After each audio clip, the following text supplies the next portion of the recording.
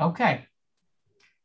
Good evening and welcome to the Calabasas City Council meeting of June 29th, uh, 2021. This is a special meeting of the City Council. It is shortly after 6.30 p.m. And tonight, I'm joined by Mayor Pro Tem Mary Sue Maurer, Council members Peter Kraut, David Shapiro, and Alicia Weintraub, as well as our staff. This meeting is being conducted utilizing Zoom teleconferencing. The live stream of the meeting may be viewed on the city's CTV Channel 3 and or online at www.cityofcalabasas.com slash CTV live. If you plan to provide public comment, please press raise hand if you're joining via Zoom or star nine if you're joining via phone and star six to unmute yourself. Please state your name and the city you live in. You'll be allowed three minutes to address the city council regarding any item within the subject matter jurisdiction of the council. In the event a quorum of the city council loses electrical power or suffers an internet connection outage not corrected within 15 minutes, the meeting will be adjourned. Any items noticed as public hearings will be continued to the next regularly scheduled meeting of the city council. Any other agenda items the council has not taken action on will be placed on a future agenda. The Pledge of Allegiance tonight will be led by our city clerk, Mari Hernandez. Please join me in saluting our flag. I pledge allegiance to the flag of the United States of America and to the republic for which it stands, one nation, under God, indivisible, with liberty and justice for all. Thank you. May I have a motion to approve the agenda, please? So moved. Second. Roll call, please. Councilmember Kraut, Aye. Councilmember Shapiro, Yes. Councilmember Weintraub, Yes. Mayor Pro Tem Maurer. Yes, Aye. Mayor, Mayor Bozajian. Aye. Carries five zero, Mr. Mayor. Okay, we're going to go through council announcements. Um, Mary Sue, uh, I see your face up there first. Go ahead. Sure. I just wanted to wish everyone a happy 4th of July. Um, it's going to be memorable the first time so many families and neighbors and friends have gotten together. And I just want to ask everyone to be extra careful with any um, fireworks uh, that you may see around. They're prohibited in the city of Calabasas, um, but it's highly uh, flammable, um, the, the, the brush surrounding us. So please be careful and enjoy yourselves. Thank you. Uh, Peter? Uh, I have no announcements tonight, James. David? Just uh, follow up a happy Independence Day celebration to everybody, and we look forward to celebrating in person as as we have not done in a couple of years. Um, and while we're celebrating independence, uh, just a reminder: LA County Health has somewhat reversed their uh, view due to the variants of COVID out there and the spread and potential risk. So they're asking and urging everyone to wear masks indoors in businesses, groceries, movies, etc. Uh, especially if you have not been inoculated. Just be safe and enjoy the holiday weekend. Um, and Alicia? Just on the COVID front, even though we have a high vaccination rate, we are not the highest in the country, and we still have more residents who are eligible that can get vaccinated. Right now, for six, our population 16 plus, we are at 73.9%. So we still have a ways to go. The great news is for our 65 plus population, we're at 97.3, which is one of the highest in the county. So we have work to do on the 16 plus population.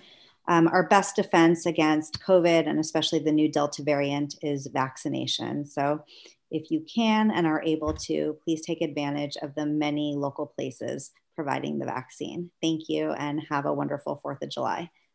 Great, thank you. Okay, we're, uh, I have a couple announcements. Our 4th of July fireworks spectacular is coming up, of course. We're glad to bring it back.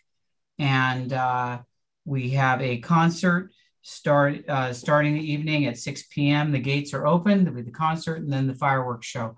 So I did want to say that tickets, you have to have a ticket to get in. It's at Calabasas High School. Um, we are sold out, correct, Kindon?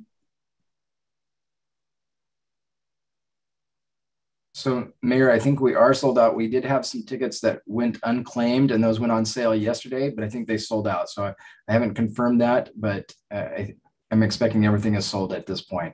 Okay, so to maintain safety, let's make sure that if you don't have a ticket, that you don't just show up because we won't be able to admit you. We are unfortunately, although we were able to bring the event back, we had significant limitations as to numbers of tickets for the public safety and welfare, and we hope you'll help us by not um, you know, by not pushing the envelope and coming without a ticket. So um, I also want to remind everybody that we have our summer concert series starting uh, at Calabasas Lake. They start at 6 p.m. Uh, and they're free of charge. You would enter by entering the tennis and swim center parking lot and going through the gate to the lake. It's right by Lakeside. On July 18th, Stone Soul, August 8th, Yachty by Nature, and August 29th, Cash Killer and King. Those are the three concerts. They're all free of charge. You don't need a ticket. You don't need to RSVP. Uh, I mention all this in part because we are taking our traditional summer recess, and that's going to uh, tonight will be the last meet and meeting we anticipate having until August 11th. We'll be resuming. August 11th, we will be having another virtual meeting. However, on that night, we will be discussing the future of our meetings and how we will, they will be held. Are we still on tap to do that, Kindon, that night? That is, that is correct, Mayor. Okay. So in the interim, if you have suggestions, uh, I know things are constantly changing, please let us know. At this point, um, with no further public comments, or no, excuse me, no further communications uh, from the council, we'll turn to oral communications and public comment. If you have uh, public comment on an unagendized item, raise your hand. This is not for any of the agenda items. So if anybody is raising their hand for an agenda item, we'll get to you at the appropriate time. But this is for something not on the agenda. I don't see any hands. So let me turn to the city clerk. Mari, has anyone called in on an unagendized item? No, Mr. Mayor, no one has called. We have no um, hands up either. Okay, so we're going to move on to our first item of new business, which is a recommendation to approve an expenditure plan for monies received from the American Rescue Plan Act's Coronavirus State and Local Fiscal Recovery Fund. This will be presented by our city manager, Kindon Meik, and Ron Ahlers, our CFO. Go ahead, gentlemen. Mayor, thank you. Uh, council members, it's good to be with you, and we appreciate you taking time for a special meeting. This was, a, you know, at the request of uh, staff several weeks ago. We we requested that the city council uh, take a pause and look at the stimulant stimulus monies as a whole and some of the different possibilities or ways that we could uh, expend those to the benefit of our community. So this meeting uh, is an effort to accomplish this. Um, uh, staff wants to um, up front, let council be aware that uh, we've presented some ideas. And these are just ideas really to start the discussion. Uh, the council can look at, you know, what has been suggested and make recommendations and changes to amounts. Uh, some of the items could be removed from the list and others could be added. Uh, but what we want to do is uh, create some parameters going forward so that uh, council and staff can work cohesively on the best use of these funds. The, the, the American Rescue Plan Act was signed in, Mar- on, in March of 2020, and uh, the allocation to the city of Calabasas initially was about $4.4 million. And just, just within the last few weeks, we received wonderful news that that allotment uh, was increased about 26%, so from 4.4 million to 5.7 million. Uh, we will receive these monies in two different um, installments, one each fiscal year. So the upcoming fiscal year beginning July 1, and then again uh, sometime next July in July 2022. Uh, with that, we'll uh, receive almost equal distributions of those payments. So roughly about 2.8 million per fiscal year. And we have until December of 2024 to uh, use these monies. So uh, the plan that we'll discuss today is not concrete. This is something that can change based on the, the decisions of the council uh, as we continue through these different expenditure years. We may find that something that is a priority right now uh, takes a, a, back seat to something that is more prevalent or more important in the next few months as, as different things come up. But again, what we're trying to do is create a framework uh, for the council to be able to prioritize these stimulus monies and to then be able to put those to the best use. Uh, uh, council members, I do want to go over the categories and give some uh, background on those as well. The Department of the Treasury outlined several different areas of uh, and ways that these funds can be spent. Uh, first is in support of public health. Uh, some of these expenditures or examples include um, vaccines and, and pro, or vaccine programs, PPE, PPEs, medical expenses, a lot of which has already been covered. So again, the stimulus monies could be used for that, but we've seen other funding sources or private entities have come and uh, done some of these as well. Uh, behavioral health care needs, and we'll talk about this a little bit later on. This is mental health and substance abuse treatment, crisis intervention, um, and services to the homeless. And we'll talk about that as, as one of our line items. Uh, also under these expenditure are payroll benefits.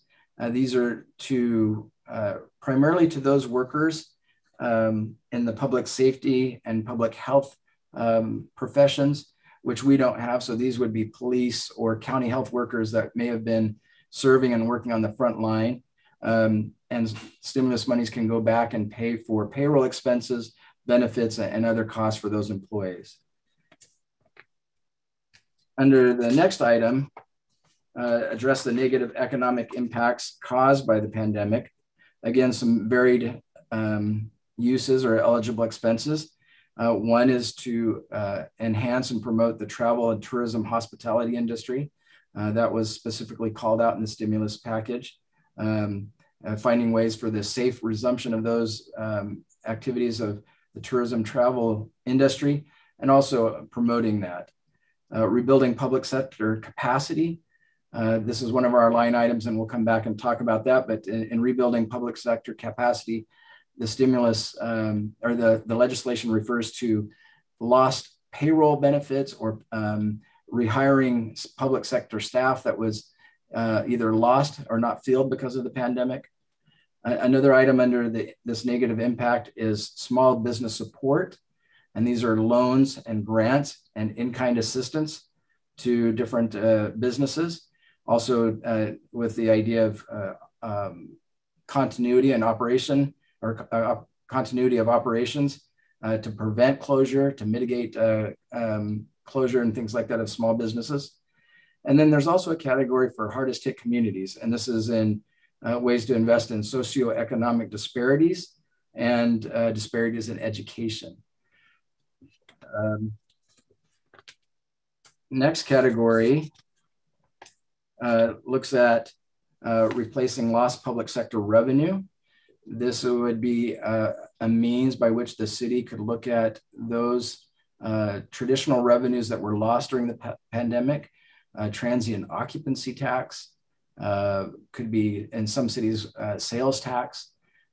We in Calabasas we have lost revenues because of our membership dues to the tennis and swim center, also um, membership uh, costs for the senior center. So anything, any of those type of uh, uh, um, payments that were suspended during the pandemic, those lost revenues can be recovered. Uh, additionally, there's a premium pay, and this is for those who are directly affected by the pandemic. We've talked about this in previous meetings. Uh, this has to do with uh, workers at food production facilities, grocery stores, restaurants, janitors, uh, truck drivers, and warehouse workers, a broad category, uh, just looking at the, the, premium pay for those. And that can be used retroactively as we've talked, and we will discuss that a little bit more. And then uh, finally, the, the last um, category that is uh, identified in the stimulus fund is the investment in water, sewer, and broadband infrastructure. Uh, with the Calabasas not operating its own water or wastewater system, this limits us to an extent, but we do have the flexibility of using when it indicates water and sewer, it also captures stormwater or storm drainage uh, um, uh, infrastructure. And so we do have, we have identified a couple projects there. And then broadband infrastructure is also identified as part of the legislation. So that, that gives some general overview of uh, the, the cost, and I've gone through that quickly. So council, I'm going to pause just briefly before I go into the tables and give you time to um, ask some questions about those different categories. Actually, I think what we'll do is I want to take the public comment first because I know we're going to have extensive comments and questions mixed in. Okay. Do you want me Um, to, Mayor, do you want me to review the table first or do you want to wait for public comment on that? No, I think you should review the table so that the public gets a full report and then you guys will stand by and be able to answer the public's questions once there, if they have any come up. But, but I think going through the whole report would be helpful. Okay, so let me pause there. So the information that I've presented so far, this is uh, from uh, the Government Finance uh, Officers Association. This is their summary of the legislation. The League of California Cities also has a, a wonderful resource for cities as we've looked at this. And then our, excuse me, our city attorney has been uh, really valuable in his analysis of not only the legislation, but uh, the, the legal framework for, for which we can operate. So before I go into the table, uh, council members, is there any of those items that you'd like me to review and or do you have any specific questions on those? I, I saw Mary Sue's hand up, but I was going to go through the whole report first and then, uh, you know, then the, then the public comment. But if you had a question you wanted to ask about, by all means. I just have a quick procedural question. Yeah.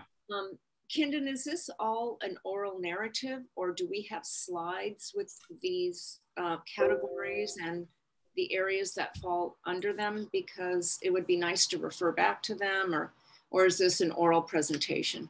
This was set up as an oral presentation. Um, What I can do is um, modify, uh, I I could, if you'd like me to, uh, Mayor Pro Tem, I could try to share my screen and just go through a couple of those slides that I was reviewing from the GFOA presentation. I think that would be helpful for the viewers. Okay, so um, let me see. I think I'll need assistance on sharing screen. Didn't mean to put you in the Zoom spot there. That's okay. This will be the real test. Okay, so I'm going to share this. And Here, good.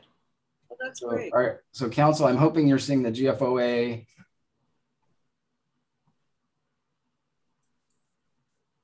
Are you able to see the entire presentation there?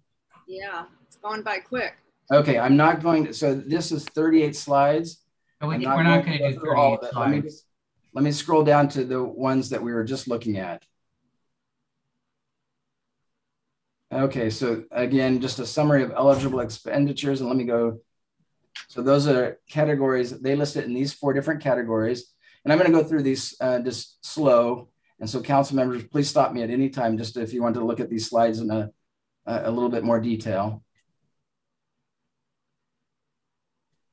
So looking at COVID-19 expenditures, um, this is where we can look at uh, vaccines, enhancing public health data systems, mental health crisis intervention, um, payroll for workers and in public health and public safety. So I'm going to pause on that one a little bit. And once council has had a chance to look at that, just let me know and I'll move, move, move through that next slide.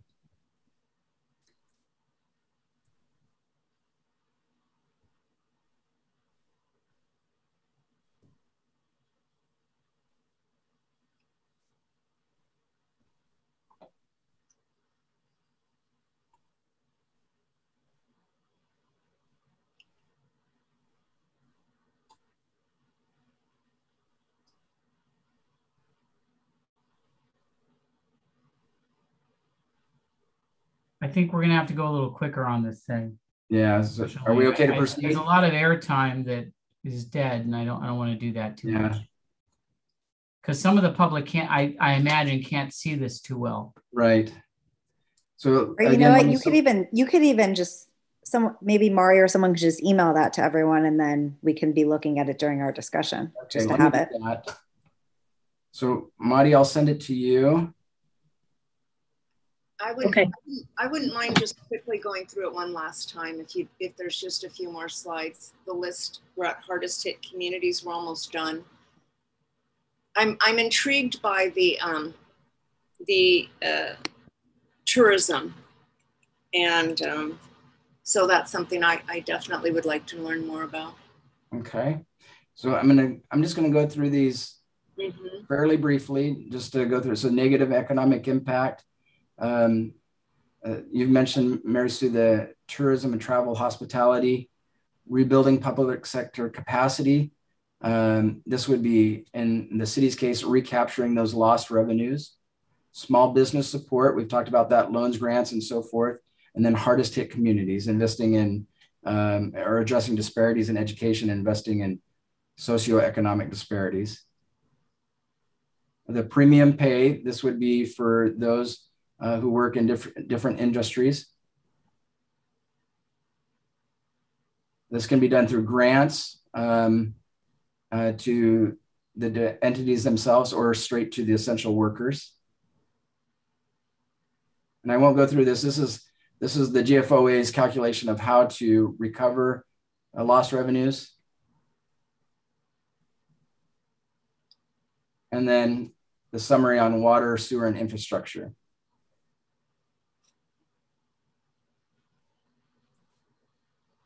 Again, this ties it back to um, uh, some requirements by the state here in California with uh, clean water revolving fund and the drinking water state revolving fund is aligned with those uses.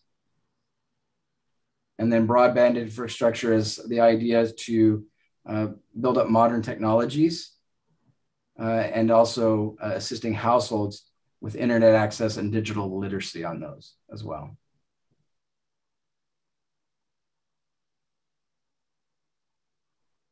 So council, I'm gonna um, stop the share. I'm gonna go back to the Zoom. I'll review the table and then when um, when we go into the public comment, I'll share the, the slides with the council. Any specific questions on those before I go into the table or the summary? Could the broadband include radio communications or AM radio station for emergencies in particular? It, it doesn't look like it, Mayor Pro Tem, but we'd have to look into that a little bit more.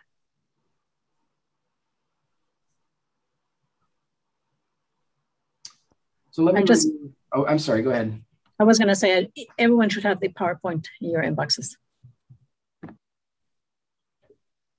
Thank you, Ron. Thank you, Marty, for doing that. So let me review the table. So we've, as staff, we've put together uh, possible allocations for these stimulus funds. And again, as I mentioned, this is more than anything for the council to begin a discussion and create a framework or some parameters for staff as we move forward. Uh, foremost, uh, we're we are requesting that council uh, think first of those lost revenues to uh, the city. Uh, these revenues, um, in essence, are funds that we took from our piggy bank from general fund reserves to offset the cost of operations during the pandemic. And it also includes um, revenues going forward that will be lost. For example, this year, we're projecting lower than normal transient occupancy taxes. Um, we're not sure where we're going to be next year with those as well. So again, we have four years to recover lost revenues. And so uh, right now we're, we're suggesting that uh, at least 2 million of the 5.7 be set aside and put back into the, the general fund reserves. Once it's put back into the general fund reserves, it gives us a lot more flexibility. So uh, some of the questions that council members asked, for example, was what about parks or what about uh, other uh, community amenities? Those aren't covered under the stimulus, but once that money goes back into the reserves, we are free to use that on normal operating expenses, normal expenditures of the city. Uh, we are estimating low on this, uh, and Ron and I went back and forth on this we really think that uh, our lost revenues could exceed $2 million, but we put in a number just as a placeholder there. Uh, item number two, the Agoura Hills Community Center, uh, Agoura Hills Calabasas Community Center.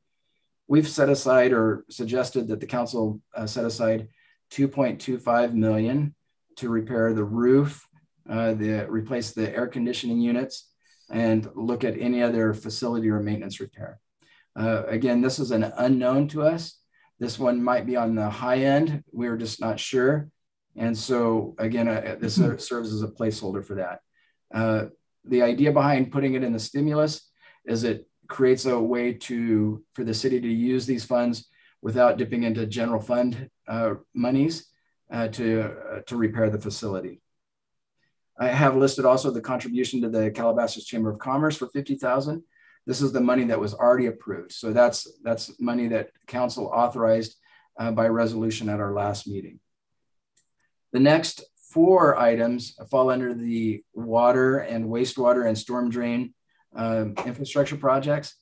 These are um, a catch basin at uh, the Creekside facility. This would be at the drive approach there. A culvert repair at Headwaters Corner.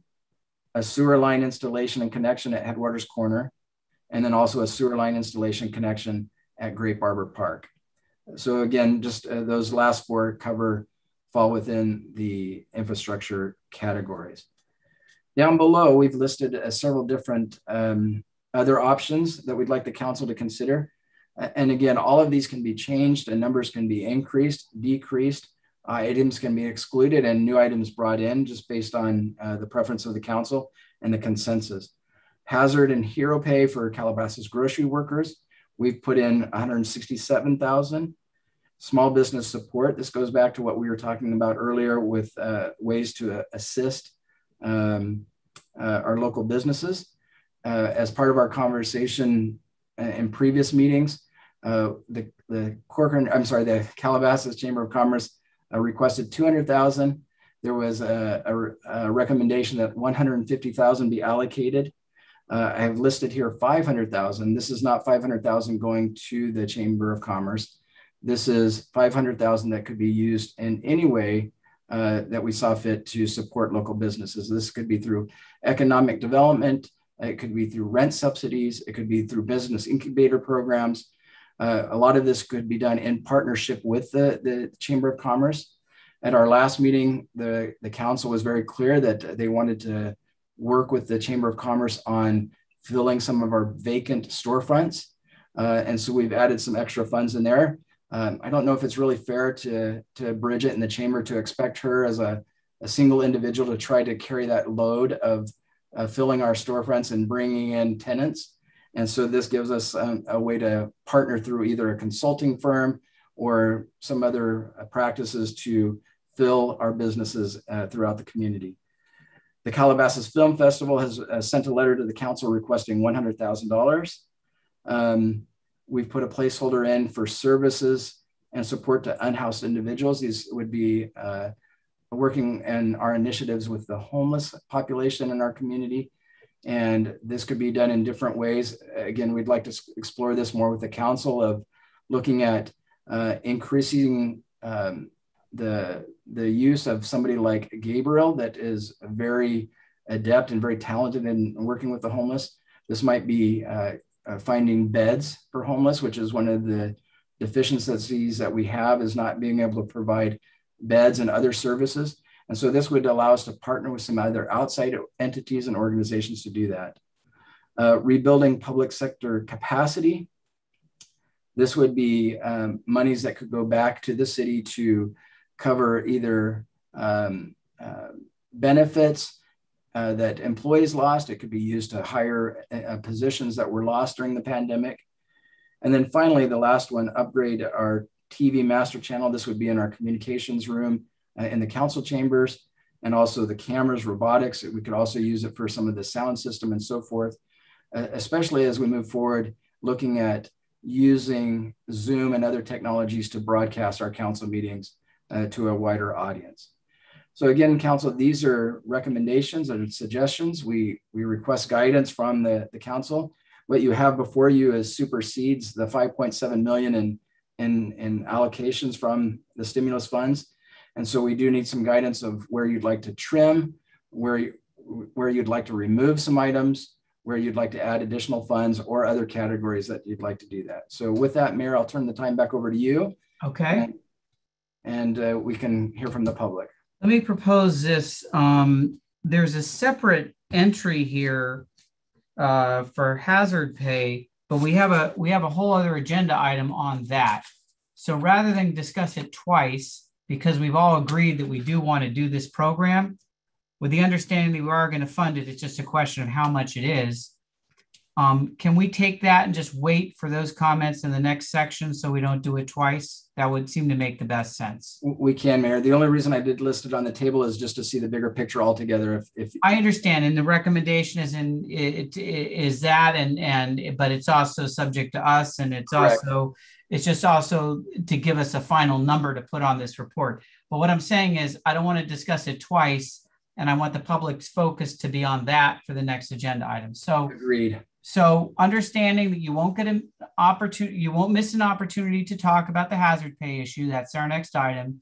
But if for everything else, um, you can raise your hand now if you want to speak on this. I know there are a number of people in the audience I see who, pro- who submitted requests. I wait a minute, sorry. I see two hands raised. Is that right? But I can't see whose hands they are. Mari, Carol Davis and Charlotte Ma- mm, ah, Mayor and uh, Carol up. Washburn. I haven't scrolled up far enough. Okay. So why don't we start with Carol Davis and she'll be followed by Charlotte Meyer. Carol, you're in the room now. You just need to unmute yourself. Good evening, Mr. Mayor and City Council persons, City Manager, and City Attorney. Who knew that five years could fly by so quickly? It was heartening to see many of you last Friday at the anniversary party of our much loved senior center and to connect with, excuse the expression, old friends. The excitement was palpable.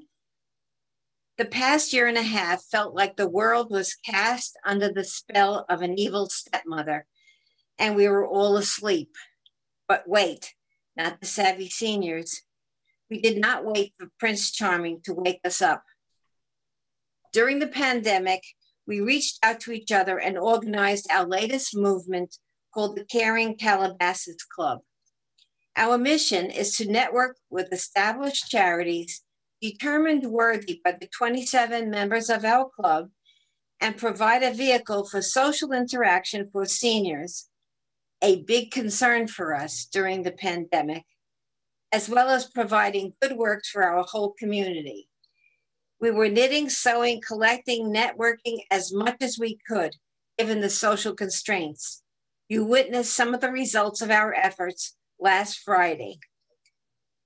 Some of the organizations we're partnering with are Operation Gratitude, My Stuff Bags, Shoes for Souls, Books Build Bridges, the Lions Club, the Volunteer League of the San Fernando Valley, et cetera, et cetera. We're exploring partnering with the Ronald McDonald House, Bring Smiles to Seniors, and the One Breast Cancer Foundation. Once we open again and can network in person, the possibilities are endless. The biggest surprise and delight we have experienced is the reaction of Calabasians and neighbors of all ages who are embracing our movement. It is a contagion of a different kind that will reinforce the priorities we have all been examining this past year and make our city a kinder and more charismatic place to live. We're organized, we're viable, and we're relevant. Now we need a little seed money. Therefore, we would like to request $3,500 to make our city famous for our big hearts and to be able to answer the question that my dad used to ask each night at dinner What is the best thing that happened to you today? Thank you in advance for your consideration. It is certainly a lot less than anything I've seen on Kindon's list. Ken's list. I like that. That's, that's what we'll call this. Thank you, Carol. Thank you, Carol. I didn't have, know I'd had such a list. Next is Charlotte Meyer. Charlotte, you need to unmute yourself. Okay. Am I unmuted now? Yes. Okay. Uh, I know that there are many competing priorities, but I would be remiss if I didn't join and think about uh, some of the priorities that I have. I also have a question before I start because sometimes I was, I thought when I was thinking about this, I was working in the dark. I would like to know how much we've spent in prior years on the film festival. And how do we get to $100,000 this year? To me, when I saw that number, and it was, I, I looked at the other items on Kindon's list, or some of the items that I was aware of, it just didn't seem to fit in. I don't see it as infrastructure. I don't see it as water and waste. I don't see it uh, uh, as heroes pay. And I was just wondering how it got on this list. That's my question. And then I'll, after, if you don't have an answer for it, I'll just go on with what my. We'll have an answer at the end. Go ahead. Okay. I'd like to propose that the council consider prioritizing all of its spending in a way that actually benefits our city in a substantial way. The senior center has been open for five years, and we knew almost immediately we did not include a, a shade structure for the patio. There are about a thousand square feet of patio that seniors avoid because of the heat and sun exposure that is present at least six months a year. Many residents of all ages go to the dermatologist multiple times a year to monitor skin cancer. This patio, as it stands right now, is most of the year wasted space. If we had shade, we would be providing a healthier, safer destination for our seniors. We would increase the actual size of usable space at the senior center by about 10%. We could expand our class offerings and have more events, even multi-generational events, as high school students performing concerts during the summer and our barbecues outside. Events that are planned in the multi-purpose room could be expanded to spill out on the patio without fear of too much sun or an uncomfortably hot day. And most importantly, a covered patio in the middle of summer could be rented to the general public and generate revenue for events. It could, in time, pay for itself. In terms of getting the most bang for the buck, please consider a shade structure for the senior center that will reap benefits for our city all year round for years and years to come. This is an infrastructure piece, and I think it might be able to wiggle in adjacent to the improvements at the Agoura Calabasas Community Center, which are also a very high priority for all of us. Thank you. Thank you. And we'll, we'll answer questions. Staff can answer questions later when we're all done. So um, next I have Mark Citron.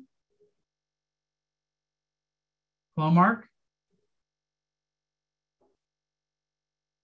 Mark? Hi.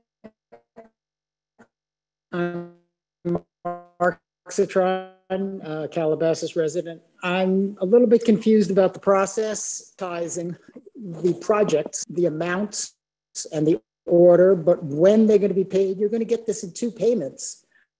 Are you planning to pay the entire amount the first year and then wait for the second installment to come and pay back some city account because we don't really know what's going to be happening the second year and you may need that money the second year for something else so i would ask if you would prioritize the amounts and the order and also what should be paid the first year and what should be reserved and paid the second year since it's coming in two installments if i understand it correctly thank you thank you all right. I don't have any other hands up that I see. And I want to tell the public that if you don't raise your hand and you don't speak, we're not going to go back and forth. So the, I'm going to close the public comment. I see one person raise their hand. I see that. But There's two. two people. But I want to make sure you guys understand this isn't a back and forth. So if you're waiting for something, don't wait. Because when I close the public hearing, that'll be it. So all hands up. I now have three of them. Mike McNutt. name and organization you represent or city of residence. Mike, I saw you and then you, I don't see you now. Mike, did we have a technical thing? I think we did, Mr. Mayor. We can okay. call someone else. Mike, if you can hear me, if you can get back on. Oh, there you are. Oh, there okay. he is. Okay, Mike, are you here now? Uh, can you hear me? Yes, now we can. Oh, wonderful. Okay, wonderful. Uh, yes, so Mayor uh, and Council, this is Mike McNutt. I am the Public Affairs Communications Manager at Your Water District and the Chair of the Board for the Calabasas Chamber of Commerce. Uh, so I do work in Cal Calabasas, but I do not live uh, in Calabasas. Um, first of all, appreciate you taking some time to uh, give me an opportunity to converse with you about the chamber and some of the items, well, the item that's on the list right now. Um, I know that we've all talked in different capacities, at least in a couple of different meetings, about um, the uh, importance of the chamber um, to our local economy and to the business community. And um, I think that I've heard a lot of different um, input from all council members or most council members. And uh, in talking with uh, Kindon, uh, your new awesome city manager, I must say. Um, and um, one of the things that I want to highlight to you is to recognize that you know we're not just another business. We are, again, as you know, uh, because we've been working with you for 55 years, basically. Um, we're also an advocate for all the local business community. And just like businesses, uh, it's our du- it's our duty to make sure that we pivot and maybe change and we can um, mold, if you ourselves, if you will, to uh, the use of current technologies, current trends, to make sure that we are actually getting out and informing the community, the local business community, uh, and beyond, um, of the things and of, of why Calabasas is such a destination spot to set up your business or to move into. We recognize, especially now after the pandemic, um, the need to make sure that we bring uh, businesses in uh, to the community, um, mom and pops or or different, to um, you know uh, make sure that those empty storefronts have have a business associated with them and to them. Uh, that's one thing. The other thing is we need to and will be using different techniques to reach out uh, to the communities, uh, both here in Calabasas and beyond, to bring in businesses to to the community. Um, I kind of wanted to say that with one other with one other um, I guess one other thing. What we would like to do is present a business plan to the city, um, maybe in August, and really highlight what our thoughts and what our vision is about how to do what I'm saying that we want to do. And the one thing that we'll be able to do is we'll be able to continue to work together as we've had for 55 years now to make sure that Calabasas is the absolute best place that you can live, work, and play. Our commitment has never been stronger, and we look forward to continuing that as we move forward. So that's that's it. Thank you. Thank you very much. Um, well, I had I had Jill Whitney up there, and now the hand's down. Okay, is your hand back up? I know we have some technical difficulties sometimes. Why don't we let Jill Whitney? She was next. Okay, there you are. Go ahead, unmute yourself and go ahead. Okay, I do apologize. I just want to make sure that uh, the hazard pay is next, right? We're not doing it at this point. That's what I said, yes. That's what I thought. Thank you. All right, we will do Bridget Carl next.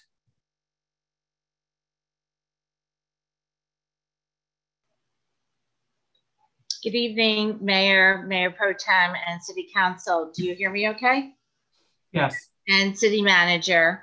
Um, uh, Kindon, I want to thank everybody for taking the time to put us on this agenda to really have a thoughtful and constructive conversation about what the Chamber is about and what we can do to help this uh, community and the small businesses for the impact that they have uh, incurred during the pandemic.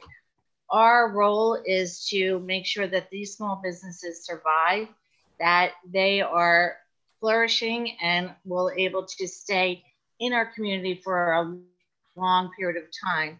Um, I, I want to reiterate what Mike said, sorry, that um, we will create and develop a business strategy with, with the city council and the city to make sure that these businesses are sustainable, that they are in a sufficient environment that they can grow and um, develop a, whether they expand or create even a stronger impact in this community. Um, the other commitment is that we will always be part of the visitor and tourism. We act as the city of Calabasas Visitor and Tourism. We are working on our first directory in several years. That will help with the hotels and restaurants. And um, as we had put together a plan to mail this directory to every single resident in the city of Calabasas and beyond to make sure that these businesses know that they are supported by their residents and also the city. Um, so we're very uh, anxious to get this started and we appreciate the consideration to fund these efforts and it will be more than just one person working on it. Our goal is to make sure that we are fully staffed and up and running like we were prior to the pandemic. And uh, we're working hard on it. So thank you for the consideration. We hope that, um, you know, we can work together as a partner to make this happen for our business community. Thank you. Thank you. And I do not have any other hands raised, so I'm on the cusp of closing the public hearing unless we get something else. Did anyone call in, Amari? No, Mr. Mayor, we don't have any um, calls or no more hands. Okay, so we don't have any more public comment. I'm going to close the public hearing portion of this item and move to the council. Who would like to go first?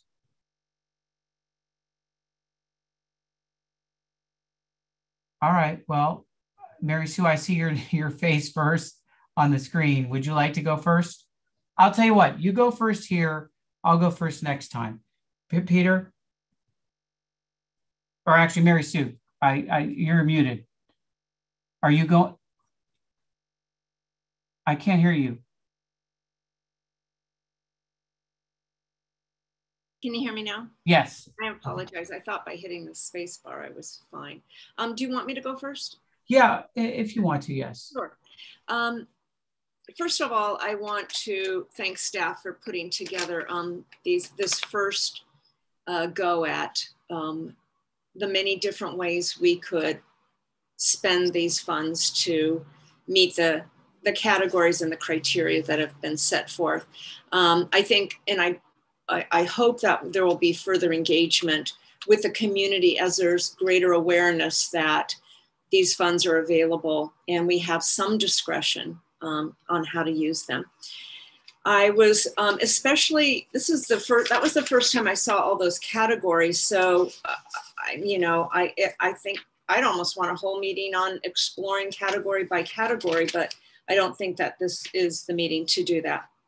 But a couple categories that I was most interested in, I think I've already asked about the infrastructure um, and whether or not that could um, help us with our AM emergency radio station.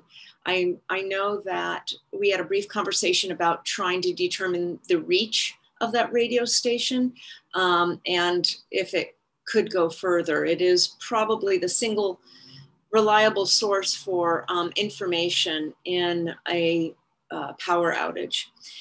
Uh, travel and tourism. I think that we really have almost intentionally decided to kind of um, keep it quiet, any kind of promotion. I know we do the directory that was referenced just a minute ago, but um, I see other cities that have separate websites um, promoting all sorts of activities and shops and restaurants and, and things of that sort. And and um, I heard mostly from the chamber about recovery um, of, of lost businesses, storefronts, and kind of rebuilding the chamber and rebuilding um, the momentum we had.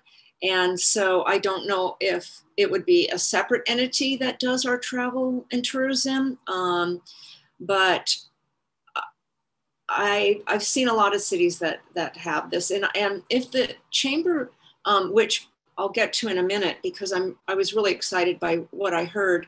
Um, it would be nice to see where the chamber would like to take our city um, by showing us examples of other cities and other chambers that they'd like to model themselves after or, or that, that they have the ideas so we can you know work together on the direction um, the chamber goes. I don't want to get too involved. That's not my area of expertise, but certainly the promotion of the city is something I would uh, want to know about.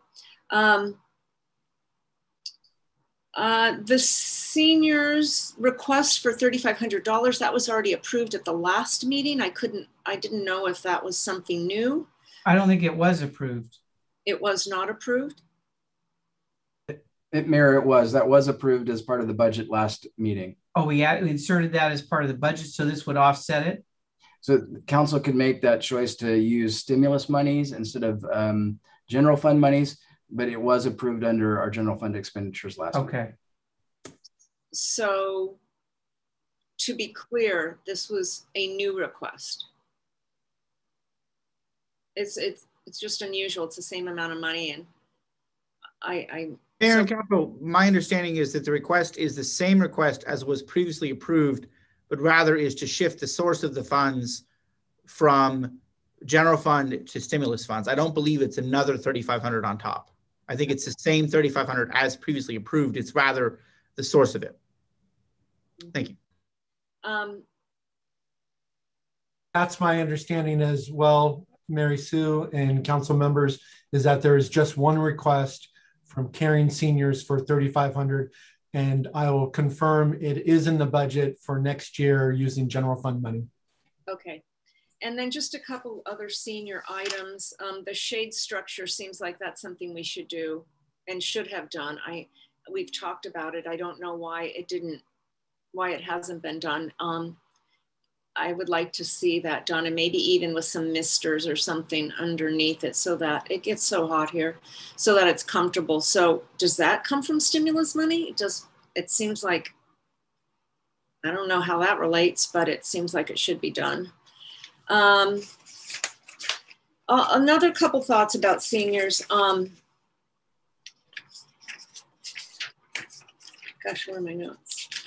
Oh, here it is. Um, Meals on Wheels, the mental health and the, the socialization and the well-being and checking in with seniors. I, I wish we had um, a, a, a new, maybe we need a new needs assessment of our seniors and um, what, what their needs are. Um, I, I, I'm thinking that we might expand Meals on Wheels um, if that falls in the category of kind of wellness. And then when we first created the senior center, we talked about a lunch program. Um, that is something that um, some seniors, not all seniors, some seniors can go into the commons and have lunch, and other seniors can't. But looking at a um, senior lunch program with our that we have in the um, Founders Hall um, I, I, I, I also question the $100,000 from the film festival. I remember receiving that request. Um, I, I'm not sure how we, if this is just word of mouth, that these opportunities, the 3,500 for the seniors um, caring program, the money for um, the film festival, uh, it just seems like we're we're, we're being reactive in, instead of being proactive in looking and so maybe we could spend some time being a little more proactive in what what what things are out in the community that um, that uh, would qualify uh, in these categories. But I think this is a great list to start with. I want to thank the staff. Thank you, Kindon. And um, thank you to the chamber. I, I again, I was really excited to hear about, um, you know, the energy behind um, the kind of rebranding and a new business model for the chamber. And um, it's, you've got a very strong board. I think the time is just right, and the funds are there. And I would be supporting. Um, I would be supportive of that. Thank you. Peter. Thank you, Mr. Mayor. Uh, I, too want to recognize uh, our city manager, Kindon Meik, for his uh, efforts putting this together. And thank you for your extra time explaining all of this to us uh, and to me personally on the side as well. Um, as I understand it, the recovery of City of Calabasas lost revenues, one of our larger numbers there, the $2 million. Um, as we put money into that, that goes into our general fund and then could be used for anything. So um, for any of these things where we can shave out some money, I would suggest that we just continue to increase that one. Of course, we can only increase it up to the maximum amount of lost revenues that we have due to COVID between now and 2024. But uh, we'll have to let our, our city staff analyze what that maximum number might be. But what I got the impression of was that the $2 million would be uh, something we could easily allocate and we might be able to allocate a little bit more. Um, as and, and as we put the money there, remember these things like um, it, maybe the senior center uh, patio cover that doesn't really fall under anything that the uh, Recovery Act would pay for. If we put it under lost revenue, transfer that to the general fund, we can then spend it there in a later date as we see fit. So that's how those items would actually come to pass, as I understand it. Um, as far as the Agoura Hills Calabasas Community Center, uh, I'd like to make a couple of suggestions. First of all, as I've looked at the numbers, the entire roof replacement is about 1.1 million uh, compared to the 400,000 for just the gymnasium roof that we were looking at before. And the HVAC units, we don't have a price on, but having done a couple of things in that industry, I can tell you we're probably looking at about 400,000. Uh, so that puts that cost at 1.5 million. Um, contingencies to handle, you know, the bidding overruns, that sort of stuff, another 300,000. I think a number of about 1.8 million is sufficient for the Agoura Hills Calabasas Community Center. So I would suggest we take that down a notch. And I would also like to say that if we are fronting the money uh, for the Agoura Hills Calabasas Community Center, um, I think we would expect that any grant money that comes to the community center uh, first go back towards that money that we put into the infrastructure and that any remaining money, whether we get grants or not for that, um, we would be looking to the city of Agoura Hills to chip in their half. Um, I'm looking at fronting the money, uh, not looking at paying for the facility outright uh, as the city of Calabasas. So I do want to ask our city manager uh, as he puts this plan together uh, to come up with some sort of a, a, mechanism to make sure that it's understood. We're fronting the money, we're not paying the whole thing outright. And we need to have that conversation with the city of Agoura on how to, how and when to get the other half back. Um, for the Chamber of Commerce, uh, yeah, we did allocate 50,000 already. We have the 500,000 potential to allocate here, which would be not for the Chamber of Commerce per se, but for lots of things to stimulate business here in the city, some of which may be going to the Chamber of Commerce. Uh, and I'd like to see that happen. And I want to thank uh, Bridget and Mike for speaking tonight and for offering to put together that business plan. And I will personally like to take you up on that offer. Uh, any way that you can help us get the word out, we certainly want to stimulate our, our retail and other businesses here in Calabasas. It's been a big goal of mine to to keep putting business back into the empty storefronts that we have. And we certainly have lost a few during COVID, and uh, that was hard to see, and I would love to see those replaced. Um, I sat down and I broke down everything in a percentage um, based on the 5.7 million. Our infrastructure projects, we're only doing 9% when you add up the drainage ditch, the culvert, the two sewers. Only about 9% of our money we're spending on infrastructure. And I'm going to suggest that there's another category in there that we're missing out on. It says invest in water, sewer, and broadband infrastructure. And broadband is something that is seriously lacking in Calabasas. Um, I would love to see the city launch uh, a, a, uh, study into a fiber optic master plan.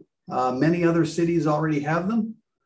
Uh, would be a study as to how we could get fiber put into the street the use of uh, installing conduits for cellular uh, companies to use in the future, combined with putting in fiber now, sharing that cost, uh, and making sure that we get that fiber optic distributed throughout Calabasas because as we have it now, we have good wireless, uh, not wireless, we have good broadband connection, at least through coax and cable, uh, maybe some DSL in some parts of the city, and we have horrible internet in other parts of the city.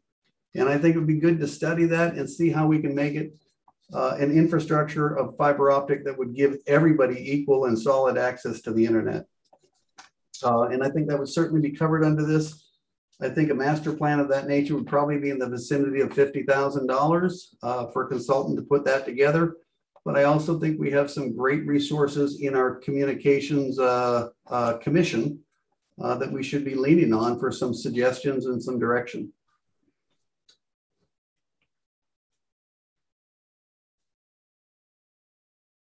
Was that the end? I think that was it. I'm just looking at my notes real quick here. Oh, I'm sorry. I didn't hear the end. No, so that's all right. So I'll, I'll finish with these, uh, these last quick items. I would agree with, uh, Councilmember Maurer on the film festival. I'm, I'm a little shocked at the size of that number.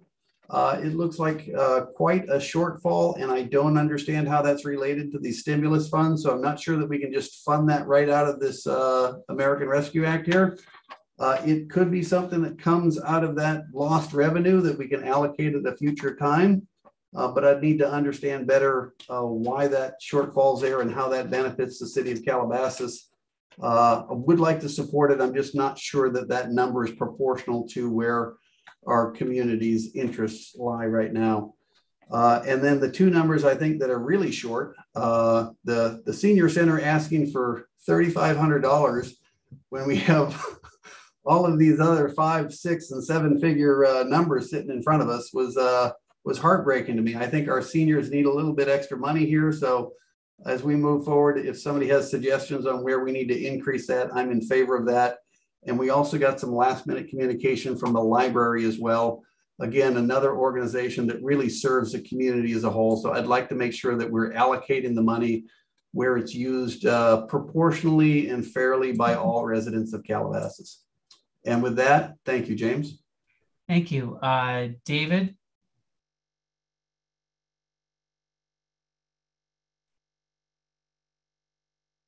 I, I can't hear you, David.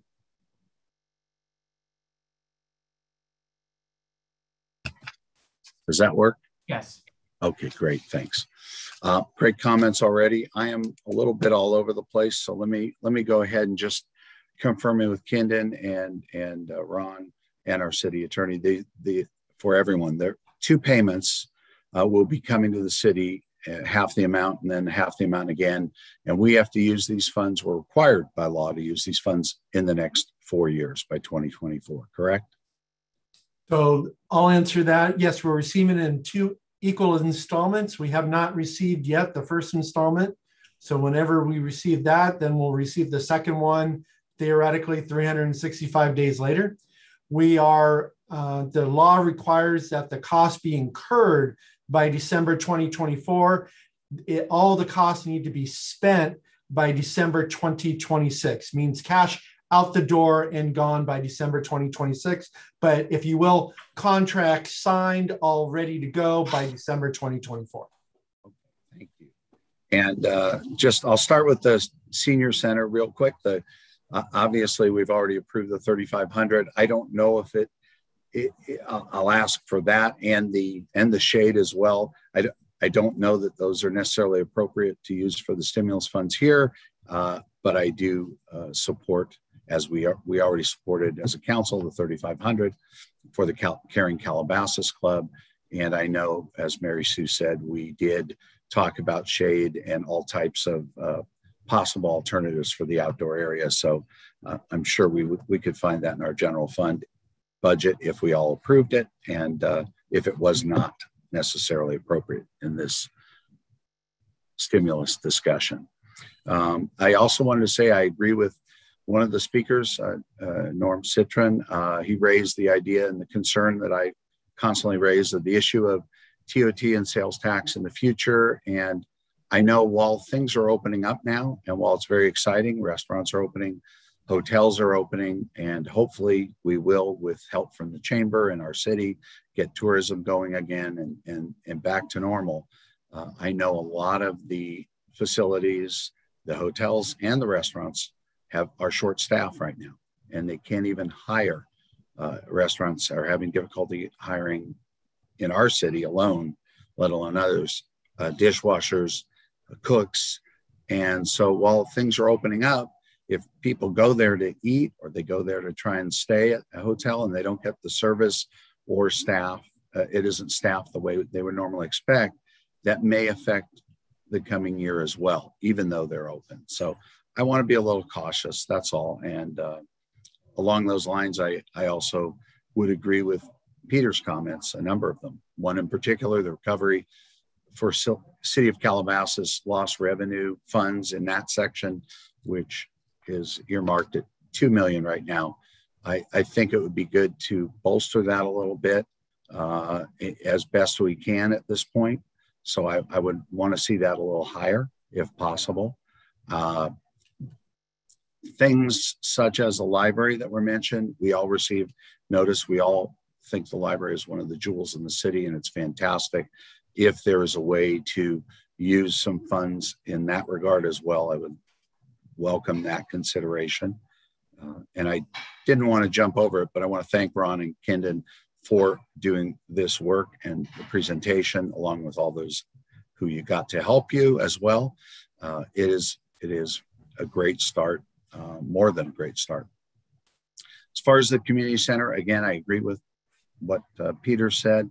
Uh, I I want to be careful as to what we are uh, agreeing to. I want to make certain there's a plan in place, and whatever that plan entails.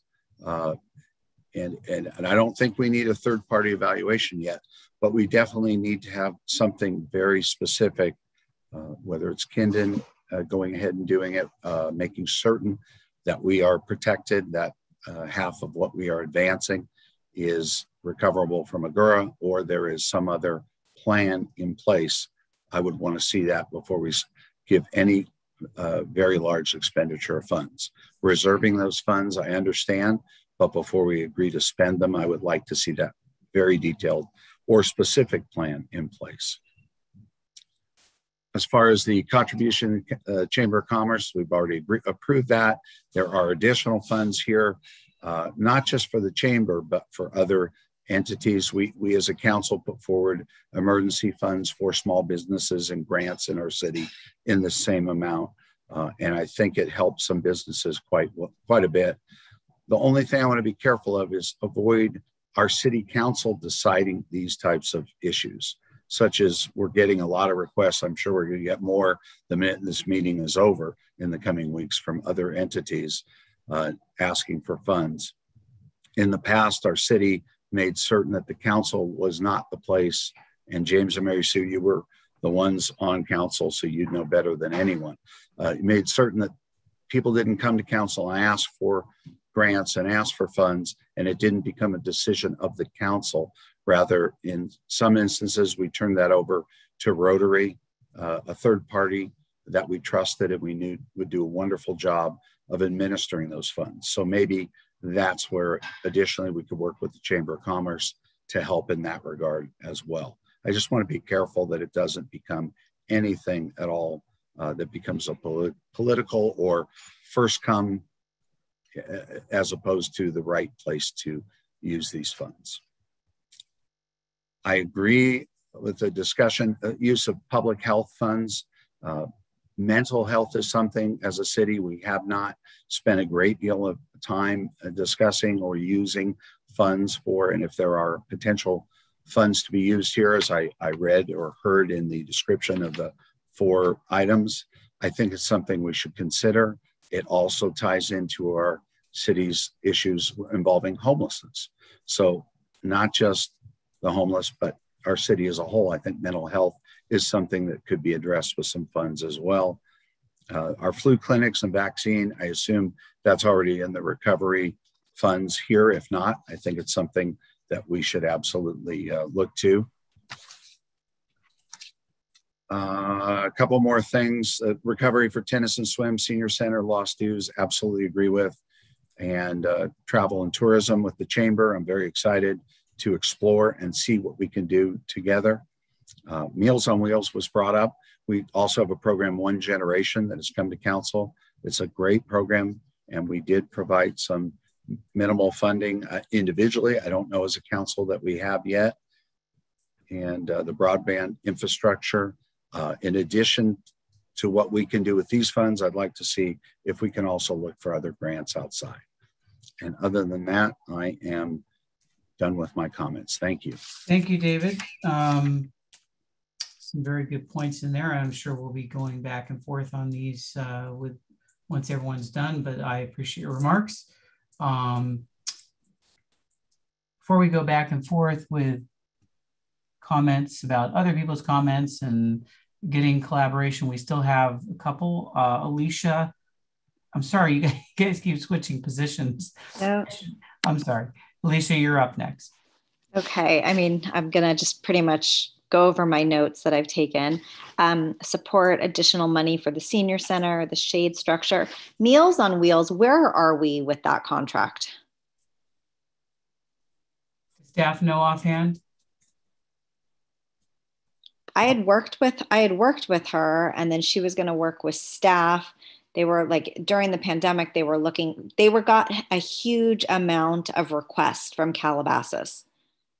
Um, so they were looking for some additional funding from us. Are you talking about one generation? Yes. Yeah.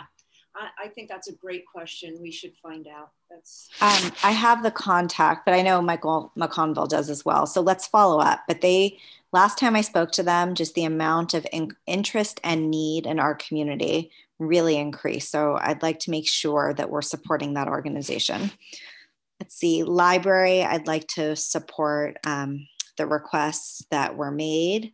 Um, one thing that I would really like to see under this is money under behavioral healthcare needs, money for Gabriel, or whatever we have to do to support the um, the the needs the needs that we're seeing in our community relating to that. I know we're currently looking for beds, and um, that's a whole other meeting. But I want to make sure that we have money set aside for that. Um, under government services, police, fire, and public safety, I know we have improvements that we want to make on these subjects, make sure that we have money set aside. One thing that I think that we should possibly look at, and I think it would qualify under this, is looking at an addition to having our generator, possibly a microgrid at City Hall to really increase our um, decrease our decrease our dependency and power outages in the event of a fire and to allow like our own cooling stations.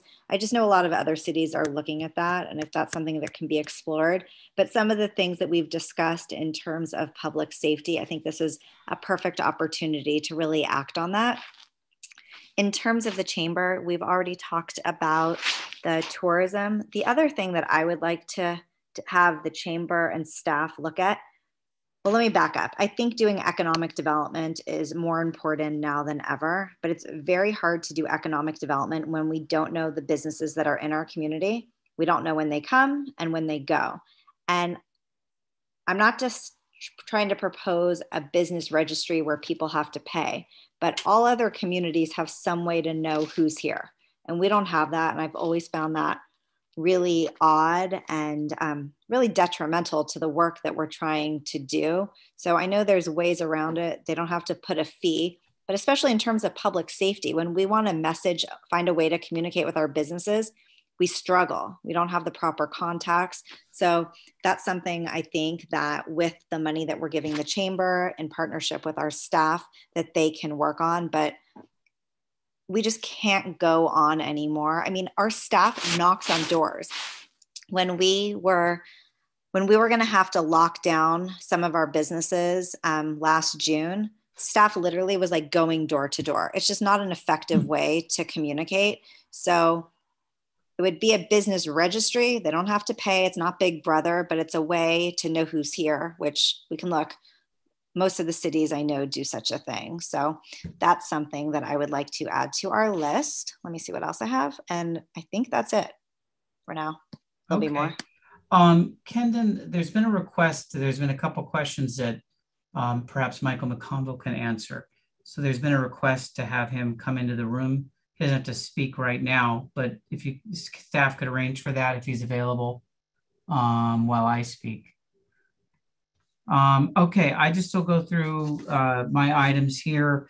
Um, I would preface my remarks by saying that although it seems like a lot of money, we have some real substantial things we're going to need to spend on, some of which have not been touched on in this report or by the comments. And I want to just go through a few of those as well. Um, I agree with just about everybody's comments that the first two categories are key of key importance and will take the most. It looks like you're coming in from the heavens, Michael. There was a little flash of white and a halo surrounding you. but just wait till I'm done with my comments before you supersede me here. Um, so those two are, are, to me the most important, particularly the uh, first one, the recovery of the city's lost revenues, which we may not know the extent of. I don't want to deplete that. And I agree that several of you have said to the extent things go back into that, we should be uh, aware and actively doing that. We approved the Calabasas Chamber of Commerce contribution to 50,000. Um, the other uh, drainage and sewage and culvert repair, I, I support. The seniors, I would support. I, I think we are, I, I, don't know if they know what they necessarily are going to need. I would uh, approve $5,000. I think that's a reasonable amount. And I would also, uh, I like the idea of the roof uh, extension or, or the sun shield, whatever we, we do that um, in, in a tactful and tasteful way so it looks nice, um, not just a tarp. Um, we're going to discuss the hazard pay next uh, thing, the library. Uh, we've we've gotten some communication from our longest standing library commissioner and also uh, some other people. Uh, I, am not sure what the issue is on the library or the shortfalls, but if we're able to make that work, I would like to spend some money on the library. It's it's a it really is an important part of the city, and we when we seceded from the county, we've set apart the library as being just unparalleled, and I and I would hate to see it. It doesn't sound like it's falling into disrepair, but I'd hate to see it go down a few notches because it's lacking for money. The $500,000 plan for the Chamber of Commerce, um, I, I, guess if we do something like that, which I would be supportive of, of that kind of allocation, we'd have to see a specific idea of how that money would be used. And I didn't mention it last time because there just was not time to do this uh, because it went very quickly. But if we give a grant of, say, $10,000 to a business, I would expect that business to be a member of the chamber. In other words, I would say, here's a $10,000 grant or a $5,000 grant, and we're taking out your first, however much it is, for a year's membership in the chamber. That way, it's at least brought back into the community. And of course, it would only be Calabasas geographic within the city limits businesses that would be even getting these in the first place. Uh, the film festival, I, I, don't quite understand that request um, other than a desire to have an extra 100,000 because it's set for September. And so I would assume their budget's already been set and everything's lined up and ready to go. Um, any additional monies would be coming from another source like the general fund. I don't, I don't think the stimulus fund would be needed. I, I know that in speaking to Kindon, because I asked him, we've already paid 15,000 for this year. If they need more money just to survive, perhaps they could request it out of the general fund, Kindon. I don't know. Um, I'm happy to speak with the representatives after the meeting. Um, I had a question about the services and support for unhoused individuals. What what would $250,000 do? What were you spending that on that we're not doing now? Mayor and and Michael, you can help me out with this. Michael has been doing quite a bit of research and looking at uh, where we are deficient in some of our areas with uh, helping the unhoused population, and uh, he's been um, making contact with different service providers. So, Michael, I'll let you talk with that. Um, again, this would be a placeholder in general, and we'd come back with a specific plan in the future. But just if we were going to do that, we'd like to consider that now. So, Michael. Yeah, um, thank you, Mayor. Um, the I guess the amount was set um, from Malibu's current appropriation for homeless um, outreach or additional homeless outreach that they incur. Um, they have, uh, I think, three hundred, four hundred thousand dollars that they appropriate every year for just two or three outreach workers. So these are individuals that physically walk the streets and communicate with businesses or or the city hall to again connect with individuals to um, get them into enrolled into the county services. So that's the number that um, Malibu has, and that's essentially the going rate um, for um, long-term regular outreach, if that's something the city council desires. Furthermore, if there was, um, you know, bed rentals or, or bed, um, you know, reservations or something of that sort, I, from the initial conversations I've had, it would be, um, you know, quite a significant investment. Okay, I, I think Malibu has a larger geographic area of where the homeless are and a larger problem. As much as we've had an increase in our problems, I believe just from from studying it a little bit that their their numbers are many times what our numbers are. So I'm not. I don't know that we need two hundred fifty thousand dollars for that. If it's just a placeholder, I wouldn't count on spending all that money unless there was something really specific brought forward. Um, I wouldn't want to appropriate it and then never see it again and not know what it went to. And Mayor, that's correct. This, uh, you know, this is again uh, with the understanding that as we move forward over the next three years, if we do mm-hmm. decide as as a community to, to invest more in services for the unhoused populations, this would be a way to do so without it tapping into the general funds. Uh, again, it, it's a, a placeholder, and we'd be coming back with specific plans for the council to approve. Okay, and then I um, I think the next category, rebuilding public sector capacity, is going to need more than 150,000. I, I think that number's low, Kindon. Um, just looking at what's included in there.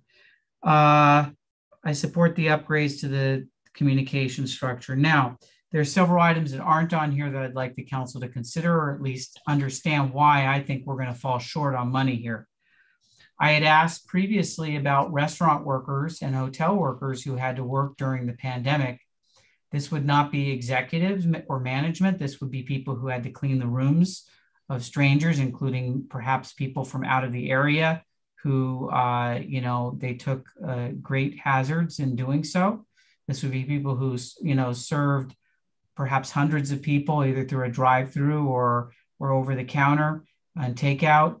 And they are low income wage earners and they did not they also jeopardize their health for us. And we have done you know we've done nothing really for them. So i, I would like to at least look at that uh, i know we deferred that discussion um, police fire and public health i think there are i know we're a contract city matthew and we have some limitations because they're not our employees but i would think that we'd have some programs that we could implement that were directly impacted by the pandemic in those areas. Um, I mean, just throwing out examples, there are things we stopped doing, such as teen court. That program became defunct. We could refund that. We could refund some diversion programs or assistance programs. Um, we haven't done any of that. So I'd like to take a look a little bit at that uh, in the public safety area. Um, sure this city traditionally, and, and, I'm sorry to say it, but we all know, and, it doesn't get said often enough, does very little for its uh, for its low income or, or lower income residents. Um, I want to look at can we use these stimulus funds to help supplement uh, people's rents or help put food on the table for people who lost their jobs, things of that sort. And again, this would be for the lowest uh, income sector, not not just for anybody. Um, I, I think I have heard from many residents who are struggling and are going to have to either move out of the city or don't know where their next place to live is going to be. And it's very sad. And we, now that we have this assistance from the federal government, it'd be nice to help those people out. Um, and then we have a couple items, two in particular, and, and that'll be the end of my comments that that I think are in dire need of help. We received a very bad report last year about the Calabasas Tennis and Swim Center, and it talked about some long term issues and problems there.